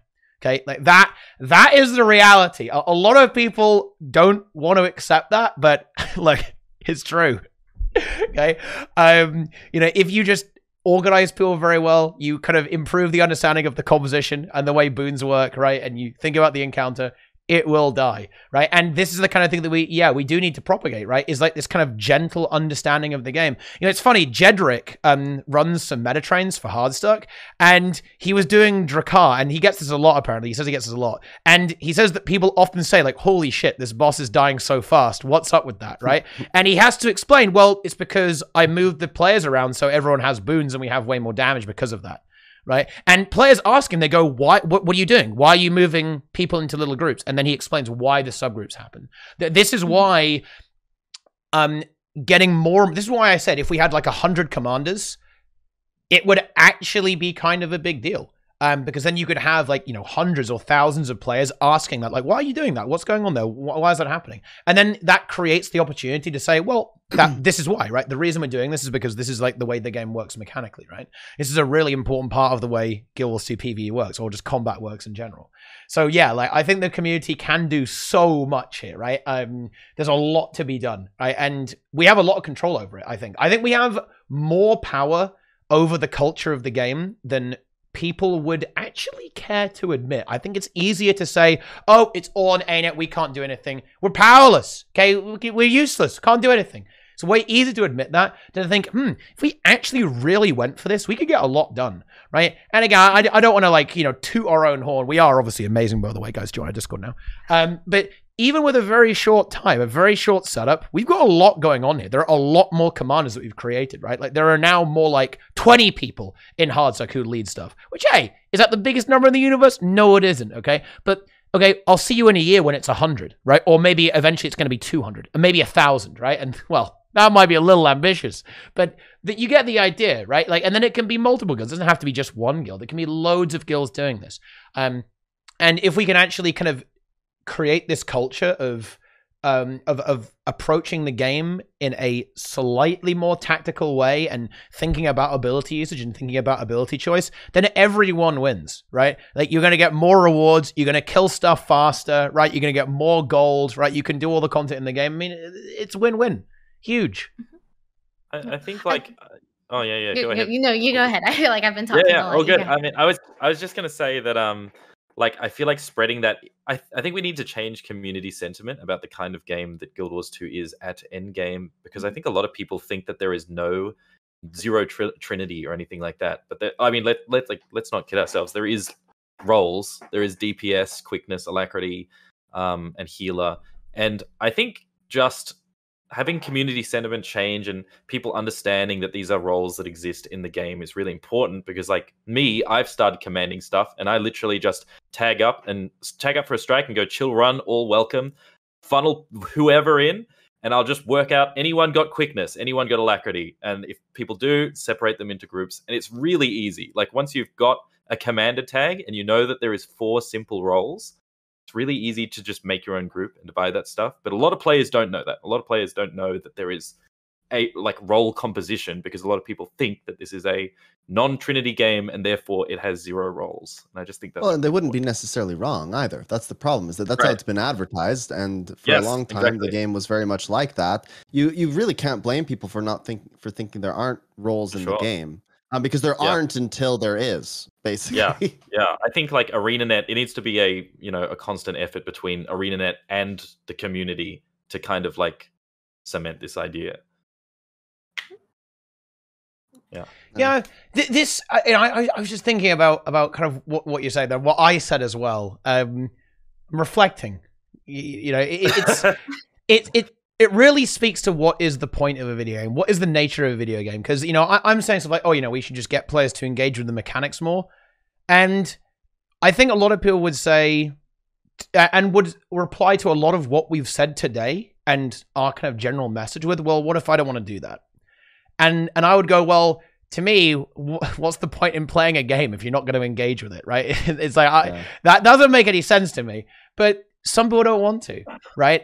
Uh, I, I don't I don't really know how to get past that. Like I guess um, in my opinion, the way you do this is that you just tune the encounter so that not everyone has to, because that's how it is right now. Um, you know, for example, if if you if you do stuff like um, even even raids, right? Like you can, I mean, look, you can literally sell raids with like six people or even five people. Um, so it's not like everyone has to engage with the mechanics 100%. Like, um, and certainly in the open world, look again, just look at a log for an open world boss. You'll see that most of the damage, probably 75% of it, is probably done by like five to 10 people. And the, the remaining 25% is like everyone below that. So it's already tuned that way. A- And I guess I'd really emphasize this. Like th- the shift that we're kind of describing here is not actually a very big shift at all. It's not like, oh, you have to go and practice your rotation and get like the perfect build. It's more like, well, you should you know, maybe maybe think about boons once in a while, right? Um, I think I think the solution is just empowering players to play with the people that they want to play with, and like because me, I I I'm like not a huge, you know, I I'm not that anal about like roles and having the exact you know one alacrity, one quickness in each group and that sort of thing. That's not the kind of gameplay I like. I love the chaos of having just a full group of brand new players.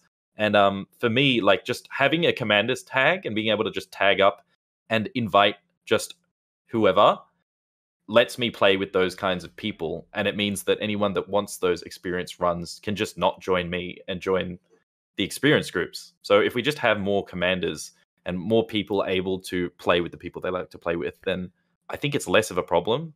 Um, but right now it's tricky because it's like the the only way that those players can play that end game stuff like strikes and raids is joining those groups in LFG because they're the only ones that like exist. Yeah. I think a, Oh, yeah. Go. Yeah. Go ahead, Emi. Go ahead. I was gonna say a lot of this also boils down to like expectations and communicating those expectations, right? It's like I imagine like when you're commanding, you're saying like, you know, all people are welcome. And then when people join, then you like, you know, that was the expectation that was set.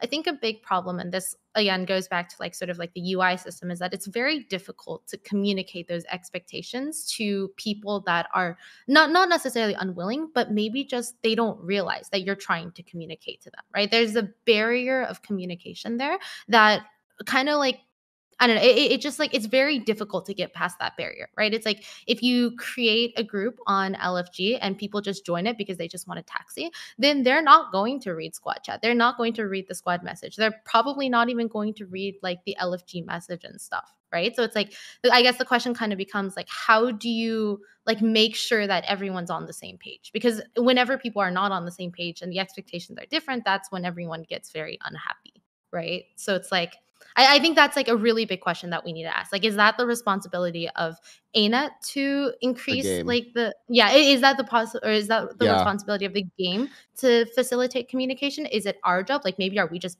bad at communicating because we're hermits and we play video games all day, or is it like you know the person on the receiving end? Is it do they need to do stuff? Do we need to like somehow raise awareness for them that like you know, hey, maybe you're not paying attention you know like who do we go to to put this responsibility on? And i feel like the Little bit of natural answer yeah exactly the natural answer is like everyone right? It's like we as commanders need to do it new players need to do it the game needs to do it and then it just becomes a very complicated mess. So it's I- like it's like uh, yeah go ahead. Sorry sorry to interrupt i'm just this is something i'm really like honed in on right? Because i've i've trained raids for so long right? I just i think it's the game and i i don't know if um i i don't know if people will disagree with that. Um i think a lot of people want to put emphasis on the player but i think it's the game's fault um a lot of the time because players have no way to know.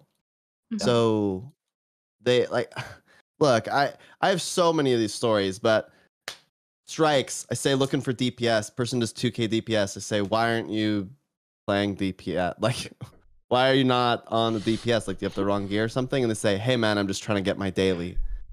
Try to look for a DPS. Somebody joins on Core Necro. I say, "Do you know what DPS stands for?" They say, "No."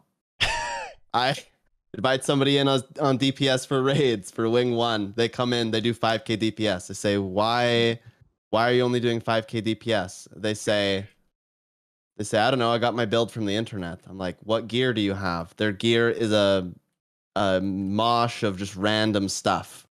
I'm like, well, that gear doesn't do condition damage. And they're like, what do you mean? Okay, well, like it just goes on and on. People just ha- people just don't understand, right? Like it, they just don't they just don't understand how what their impact is on anything around them and they have no way to test. So I actually think it's mostly the game's fault. And that's why there's a lot of misaligned expectations.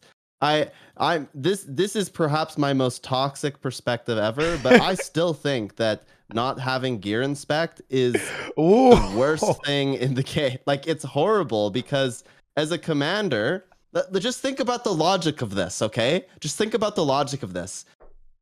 People get you into a group, then you have to do a pull of the boss to see if somebody has the right gear on. Because you'll know, you'll know like immediately because if they're not providing boons or whatever, you just know but you have to do a pull. So now you've just wasted a bunch of time. Now you have to kick them, and it's all uncomfortable, and people are upset, and it's awkward as the commander to do that. And then you have to find somebody new. Every time you go through this, you waste a whole bunch of time. And you could just solve that problem by having like gear inspect or something.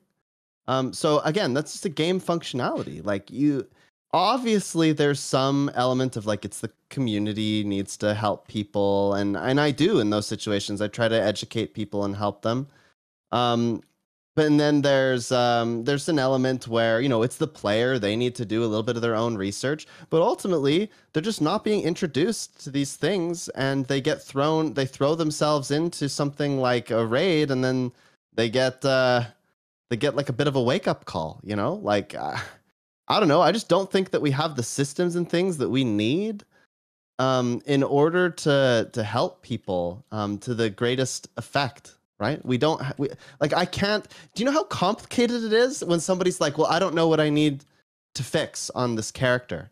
I can't just inspect their character and then tell them what to fix. They gotta like screenshot or tell me every piece of gear they have.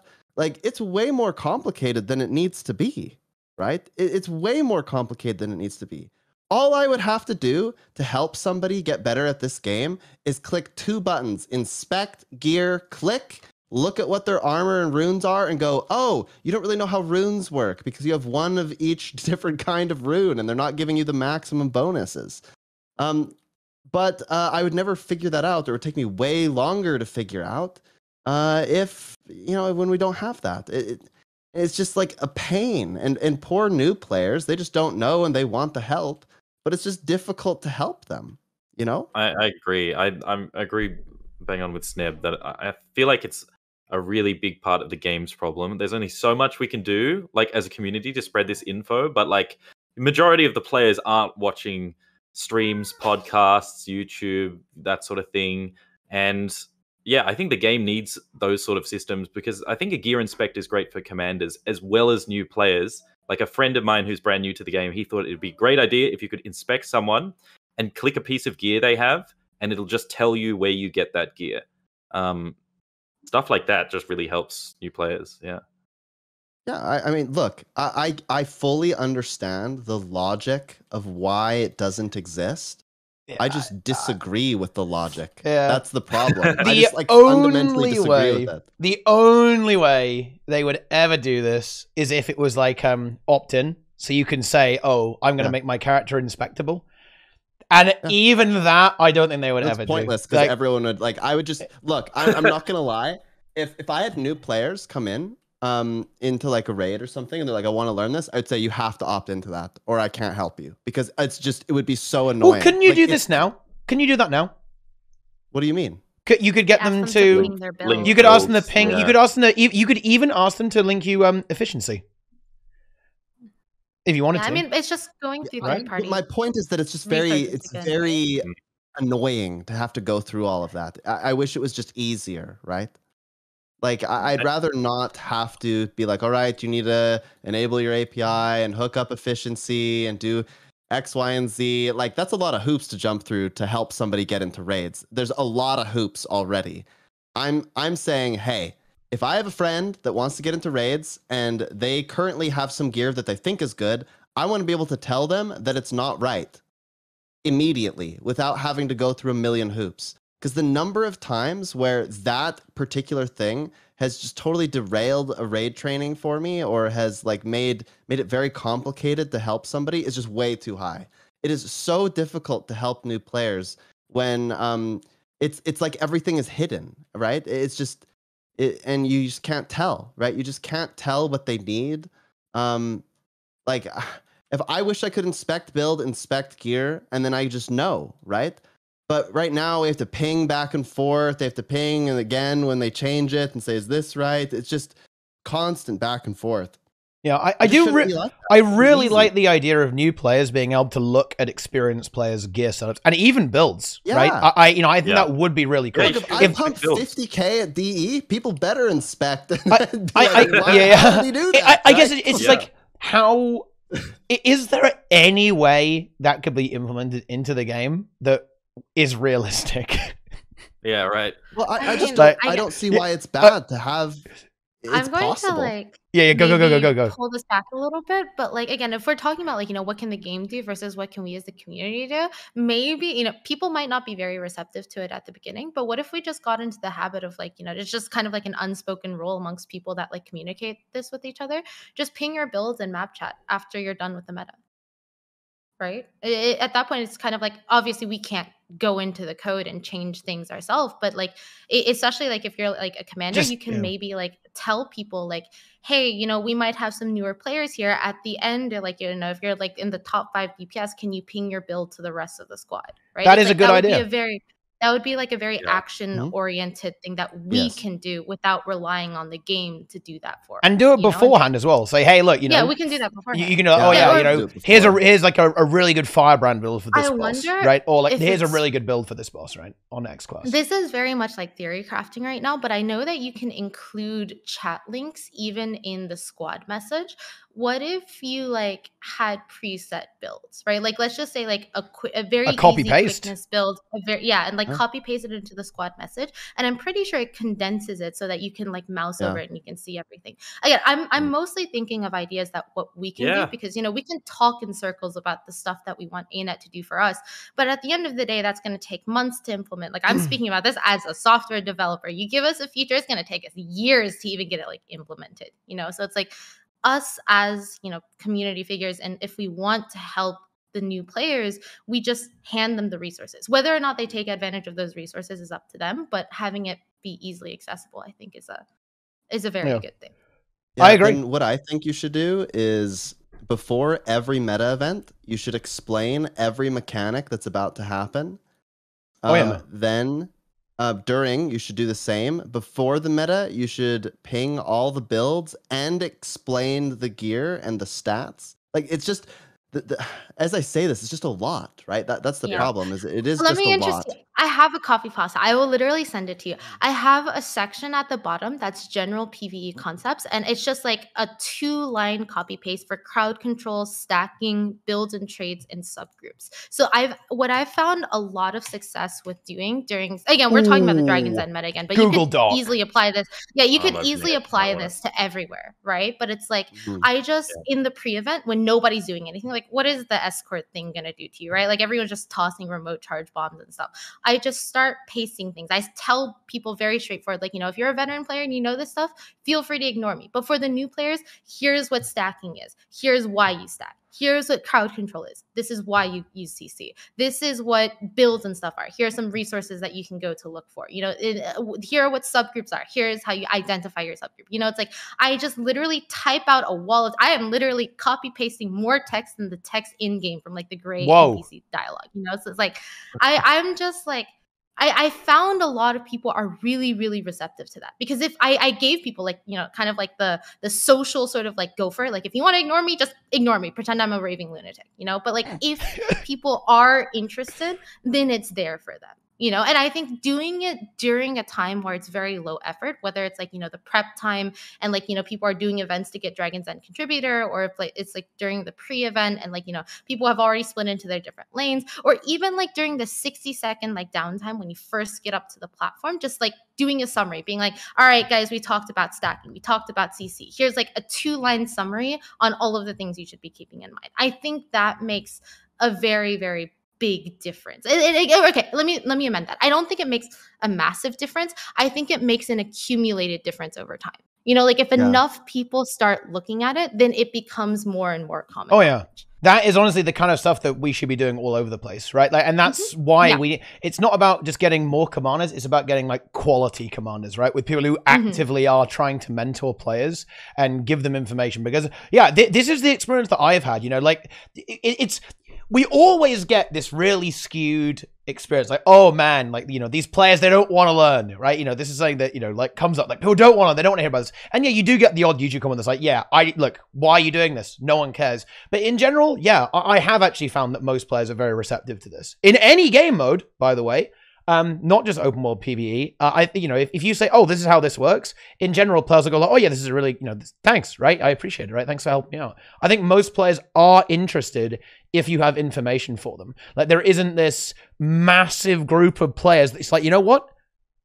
I'm deliberately bad at the game. I enjoy being bad at the game. That's that doesn't really happen very much in my mind. Yeah, well, I- I've I- encountered I those players. Re- Yeah. I feel like the- they're all- a very small percentage though. Yeah. You know, it's like the vast Yeah. majority of people are like silent majority. They're just minding their own business. So I mean, Do you think I There was Amazon are some say- players who just want to like they they just say, "Hey, like I do not want to try at all. I just want it to, to die because I'm just chilling." and, and like that's that's like like a valid perspective, right? It's it's not like it's um super common, but there's a lot of people that are just like I just chuck on the stuff that I like and that I think looks good and whatever, and I just go around and if it takes a lot of effort, I put a lot of effort into my job or whatever, and so I don't want to put a lot of effort here. And I guess I mean that's something that you do It's- have to accept. yeah, I've, there's just not much you can do for those players really. Um, but I agree with Emi in that like having those re- we need more resources for commanders. I think like me as a new commander, um, having like macros like that that I can just paste in chat would be awesome. I because I led like a, a raid squad the other day. We're doing wing one, and I can explain mechanics, but like you, Emi, I forget what these bosses do until they do them and you know not everyone is great at communicating those mechanics and communicating how to overcome them so i would yeah i would love more resources for just commanders to grab like macros that you paste in because uh, what i've learned from final fantasy raiding is that like you will just join a raid in final fantasy and immediately someone's pasted a macro for like all the mechanics that this boss does here's how to deal with them and um you don't see that a lot with guild wars you have people like typing entire novels about all the like mechanics and the boss and stuff like that. It's hard to follow. Yeah. Yeah. You should you should there's this guild that does raids and every time they went into a boss they had a whole bunch of copy and paste instructions for the boss. So they would go in and no matter who was there, they would copy and paste the entire instruction booklet for how to kill the boss. Like you're going to see this mechanic, this mechanic, this mechanic and it would just go it'd be just be like paste paste paste paste just like this small novel on how to kill the boss and they'd be like everybody understand press x and then everyone would press x and they're like all right let's go Let's And- go. right? Right. But honestly, it dramatically improved, right? Like it dramatically improved things because then they could just be like, hey, we're messing up on this that we explained before. Like, does anybody have any right? It I know everyone's memeing that, oh, and then you wipe for a million hours, but it actually did help things, right? Because there are lots of people that join raids that are actually not terrible. They just don't know like one or two mechanics very well. And so messing up that is really bad. And if you have like six of those players in your group and they're all messing up one mechanic a little bit, it really uh, accumulates after a while. So if you just explain that, some some people legit they won't say anything, but they'll be like, "Oh, I never knew that," right? And then and now suddenly they do it better. So I actually think things like like that, like what Emi's suggesting here, are super valuable, super valuable. take all the copy pasta. I'll start writing copy pastas for stuff. For my like math completion train in uh, Heart of Thorns, I have 35 something pages of copy pastas. So yeah. Wow. and, and for Wow. the record, I yeah, I know My there's a lot of like That's new crazy. upcoming commanders right now. If you guys ever want me to just word vomit stuff on you, let me know and I'll send you like 10 Google Docs of stuff that I've kind of like written down Holy and kind of shit. use as like personal resources now. So Wow. That's good. I, I, I want to wrap things up because you know I I, I, said I wanted to go for like two hours on this, but it's been nearly three. Just- Why all not? good. Why not? Um, yeah, I, I was thinking maybe one one more topic. It's a little bit tangential. Okay, so it, a perfect way to end in my mind. Um, it, it ties into a, a part of this conversation, and, it's something that uh, that you brought up, Bloom. It's about kind of like allowing players to play with players who have the same mindset. Uh, and it's just about kind of like the nature of Guild Wars 2 and the way instance content works.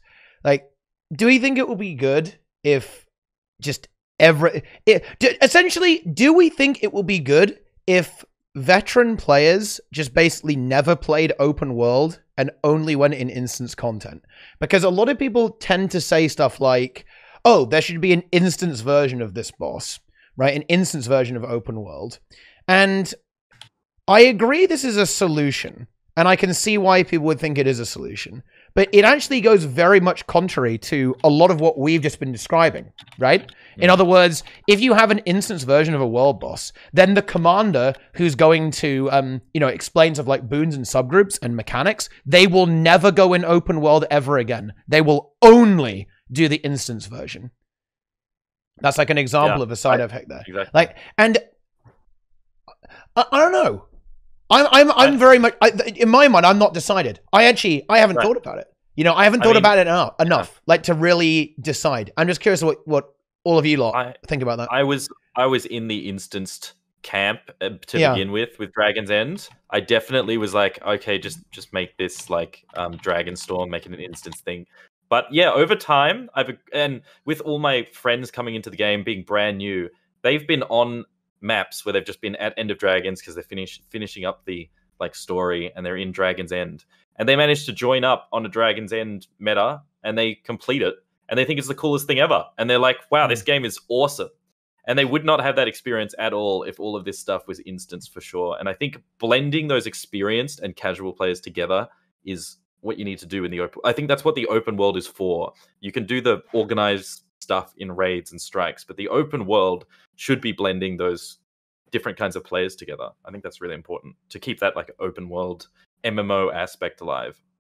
Yeah, I, I think that community outreach is really, really important, and that's why I think it's good that the open world doesn't get instanced too much. I, I wouldn't mind like you know stuff like challenge mode bosses, um, and stuff like that, and having like having some instance world bosses. But I think making loads of them or moving in that direction too much, it's just going to be this really weird situation where um the open world is like a wasteland, right? Where w- there will be loads of Yeah. players there, but it it will just be like the land of of completely random button pressing, which which is me, I, I think like- it's really hard to get out of, right? It's like really hard to learn the game or, or like get any information. When if if no one knows what's going on, then how are you ever supposed to kind of grasp some of the mechanics of the game, right?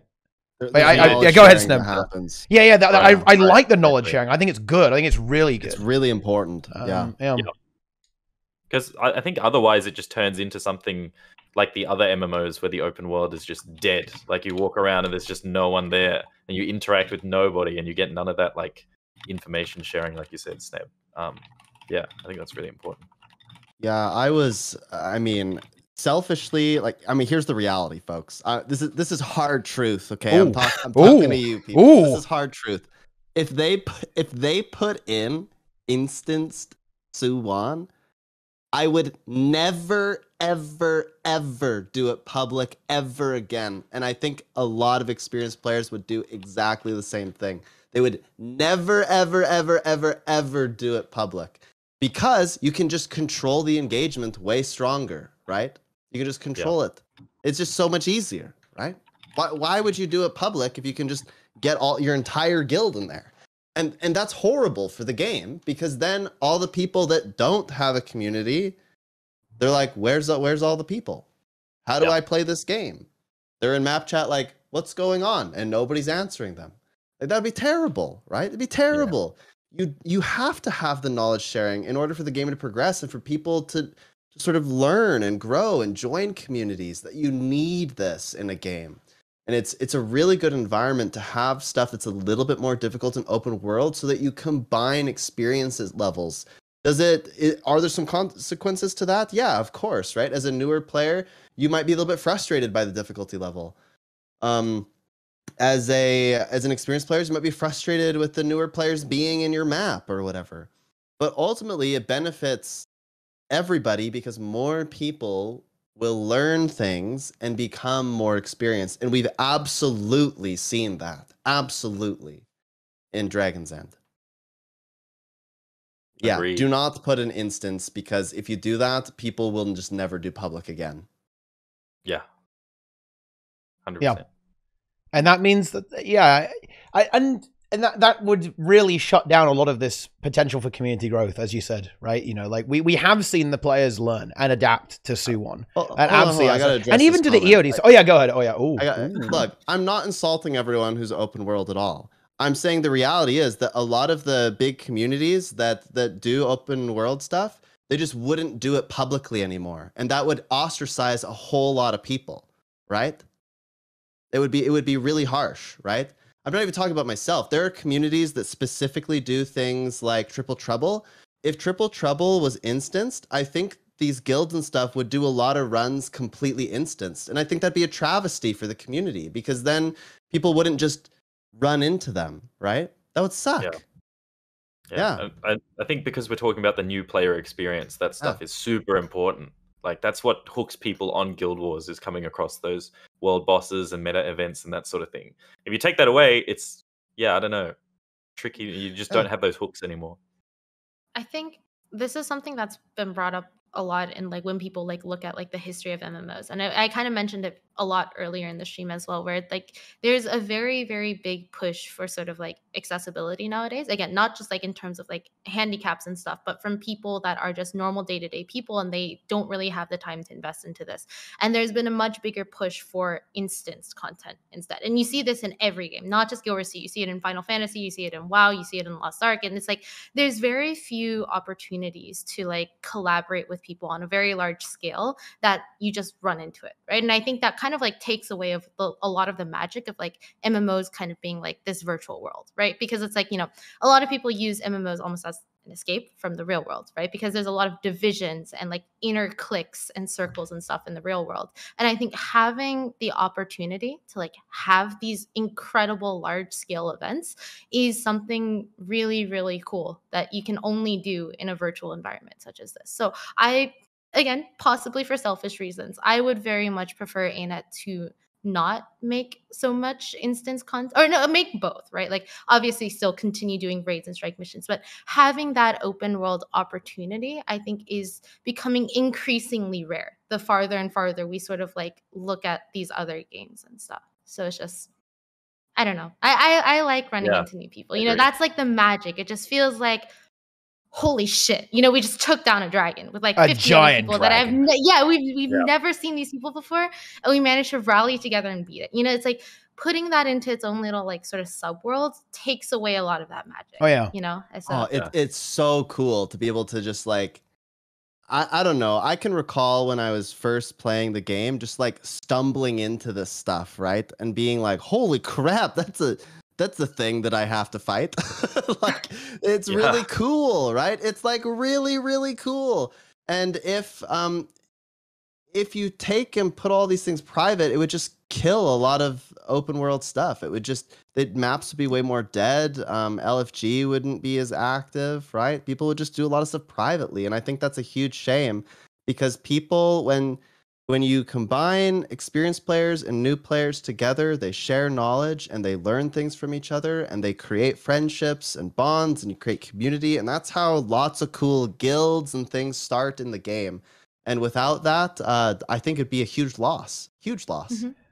So what you're telling me is that all of you agree with me and that open world should be the ramp into players learning the game, which I said an hour and a half ago. All of you agree. I win the debate. GG. i said i was on your side let it be known Yeah, that i said true. in the very beginning That is true, I was on actually. your side. That Oh, is you true. might Yeah. have swayed me, maybe. Yeah. Yeah. Maybe. I'm in the camp where we just need both, you know? Like, yeah. yeah. just do both, honestly. like, yeah uh, they can coexist. Like, you can do this Mhm. to, to both kinds of content. Yeah. It doesn't need to be mutually exclusive. So, yeah. Yeah, Yeah. no, I, I do agree. I, I, I mean, uh, just just as one final thing, because we're gonna we'll, well, let's go ahead and wrap up here. Final thought, okay? Everyone gonna have a final thought here. But yeah, I, I would definitely say that making um strike missions or at least something like that part of the story, or like adding dungeons into the story, making it so you have to do a fractal as part of the story. Because you know, hey, fun fact, guys, like fractals actually did get introduced, um, kind of as part of Living World a very long time ago. Fun fact.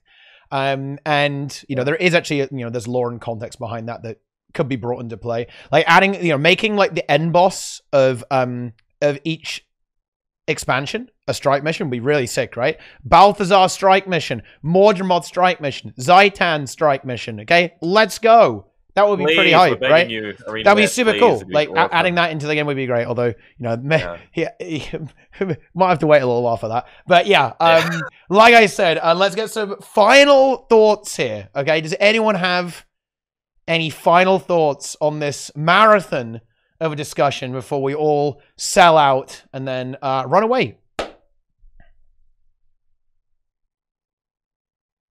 I'm good. I've said my piece, I think. yeah, Yeah. I, th- I think i've said everything There we Unless go. you guys want me to I'm- start I'm- Yeah, I'm just. I was going to let that hang. I was going to see how long that would go. Right? You know, I, you know, I was going. Can we get 30 seconds of just complete silence? Is that possible? Um,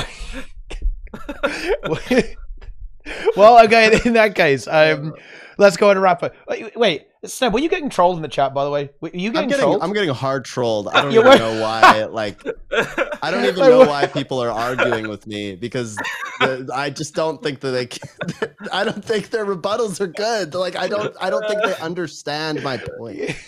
I, I don't think they understand me, and so I keep trying to say that's not what I'm saying, but they keep saying that is what you're saying, and I'm like, but it's not. Uh, Snebzor wants to inspect randoms and verbally delete them from Frostmore 99. It's actually funny because people will like the, the I'm telling you people the only reason I want gear inspect is because I I try to help players and it's just so cumbersome to try to help them. Uh, if I could just look at what they have and then just be like, this is what you need to fix, it'd be so much faster. Yeah. It, it's like really important. Yeah. I agree. Okay. Uh, in that case, I think it is time. It is time to just about wrap things up. What an epic tea time. And what it was intense. It was getting crazy there. Right? It was wild. I like it. Um, Yeah. so anyway, it is time uh, to find out who all of you people are, because I don't know. Um, I've forgotten who I am actually after all of that, to be honest. Uh, so hopefully some of you remember. Um, but anyway, let's do the new friends first in the top left hand corner. Coming all the way from Twitter and YouTube, it's Bloom.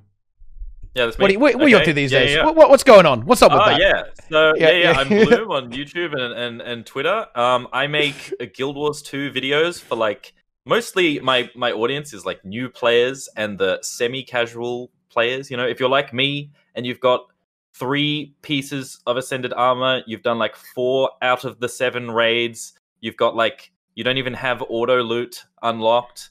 Um, if you're like me and you like that sort of like casual content, then and I've got it. I've got it for you. So Boom. yeah, yeah. I'm working on elite spec reviews right now. The End of Dragons elite specs. So Ooh, yeah, yeah, yeah.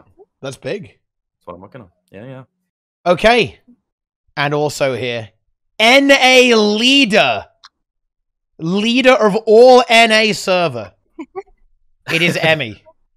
What are you up Yeah, to these so days? What do you do? My name is Emi. I do a lot of like Twitch streaming, primarily targeted towards, I guess, the opposite of Bloom, so sort of like end game PVE content. So I have an emphasis on kind of like you know bridging the gap between new players and veteran players, usually by using like very specialized sort of like commanding techniques. So like introducing information little bits at a time, copy pastas, all that kind of good stuff. So I, uh yeah, that's what I do, and I also have a meowsing cat puns. Like I think my Ooh. community would actually kill me if I didn't subject you guys to my abs cat and meowsing cat puns that are fantastic in a furry single way and totally not a catastrophe of meow numental proportions. So yeah, I just wanted to introduce you guys to my cat. This is Wow, his name is That's Potato. great. And he's been Oh. chilling next to me for like literally the entire time I was trying to push Yeah. him Cat away so that active. he wouldn't like yeah. Yep. So Nice. Okay. Wow. And just keep spamming exclamation mark hosts in the chat, by the way. That will link all of these gamers so you can go check them out. And of course, I'll be uh, linked in the YouTube video and below the stream as well. So I'm just going to do the, channel, uh, the command there as well. And finally, okay, he has crawled back from the depths of mucus, drowning in his own sick. mucus. Sneb. Oh, I can finally breathe. It's been like four or five days of torture, but hello, I'm Sneb. I like raids and endgame content, doing challenges. Recently, started two different series on my YouTube channel. One is Can 10 Guardians Kill Every Raid Boss? 10 Core Guardians, by the way. So I've been doing that. We've made it all through Wing 1 now, and we're on the Wing 2. And then uh, the other challenge is All One Profession Dragon's End. Spoiler alert Untamed, not so hot.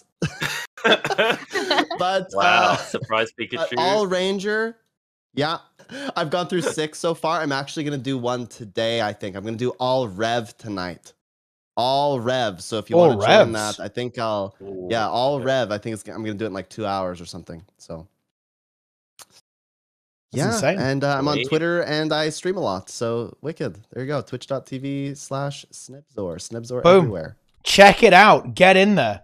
Right, and then finally, it's me. I'm, you know, I, I do all this stuff. There's tea time nearly every week. We talk about various topics like this one, and we meet loads of interesting people in the community, like all these. Look at them all. Look at they're everywhere. Okay, wow, incredible. Um, yeah, you can go and watch this channel. You can follow this channel. You can go on my YouTube. You can watch all my YouTube videos. You can go on my Twitter and you know read when I forget to tweet for like three days, and everyone thinks I'm dead. Um, you know, all of these things are options to you. So definitely go and do all of that exclamation mark hosts in the chat to check out all of these incredible gamers on the show today. And of course, make sure to watch all of them. Make sure to follow all of them. Okay, you just get multiple monitors. You can have one on each. Okay, you can handle all of it. I believe in all of you. Of course, links below the stream, below the video, all that kind of stuff. But that is going to wrap up the tea time. Thank you so much for watching. Massive shout out to um, the guests here as well. My wonderful guests, Emi, Bloom, and Sneb. I really appreciate you uh, coming on here and hanging out. You know, I've got to give a special shout out to Bloom. I think he was here at what 3 a.m., 3:30, I think. Yeah, yeah, so you know, like bright and early, ready to go. Uh. so got to give some credit there oh, uh, for that. Yeah, but yeah, take a nap. Yeah, but yeah, that is going to wrap things up uh, for about now. So thank you so much for watching. We really hope you enjoyed the show. Let us know what you think. Okay, let's get some let's get some comments going because this is a topic that I would even want to explore a little bit more because these are some of the things that we could really look at improving. And um, personally, I just, you know, I really enjoyed the section uh, about the community as well. I think we actually found some real actionable things that we can do, which that's a big passion of mine, right? I really like looking at this is what we can do now. We don't have to go like, oh, you know, ANET, please do something. These things that we can do. And I think that ultimately that should be the focus um, of a lot of the discussion, a lot of the you know, a lot of what we should be looking at is things that we can deliberately action to make the game a better place, right? Because that's what we're all here for. Anyway, with that incredibly long introduction, follow everyone, watch everywhere, come back and watch every single day, hit the subscribe button, uh, do it, hand over all your money. Nice. Sweet.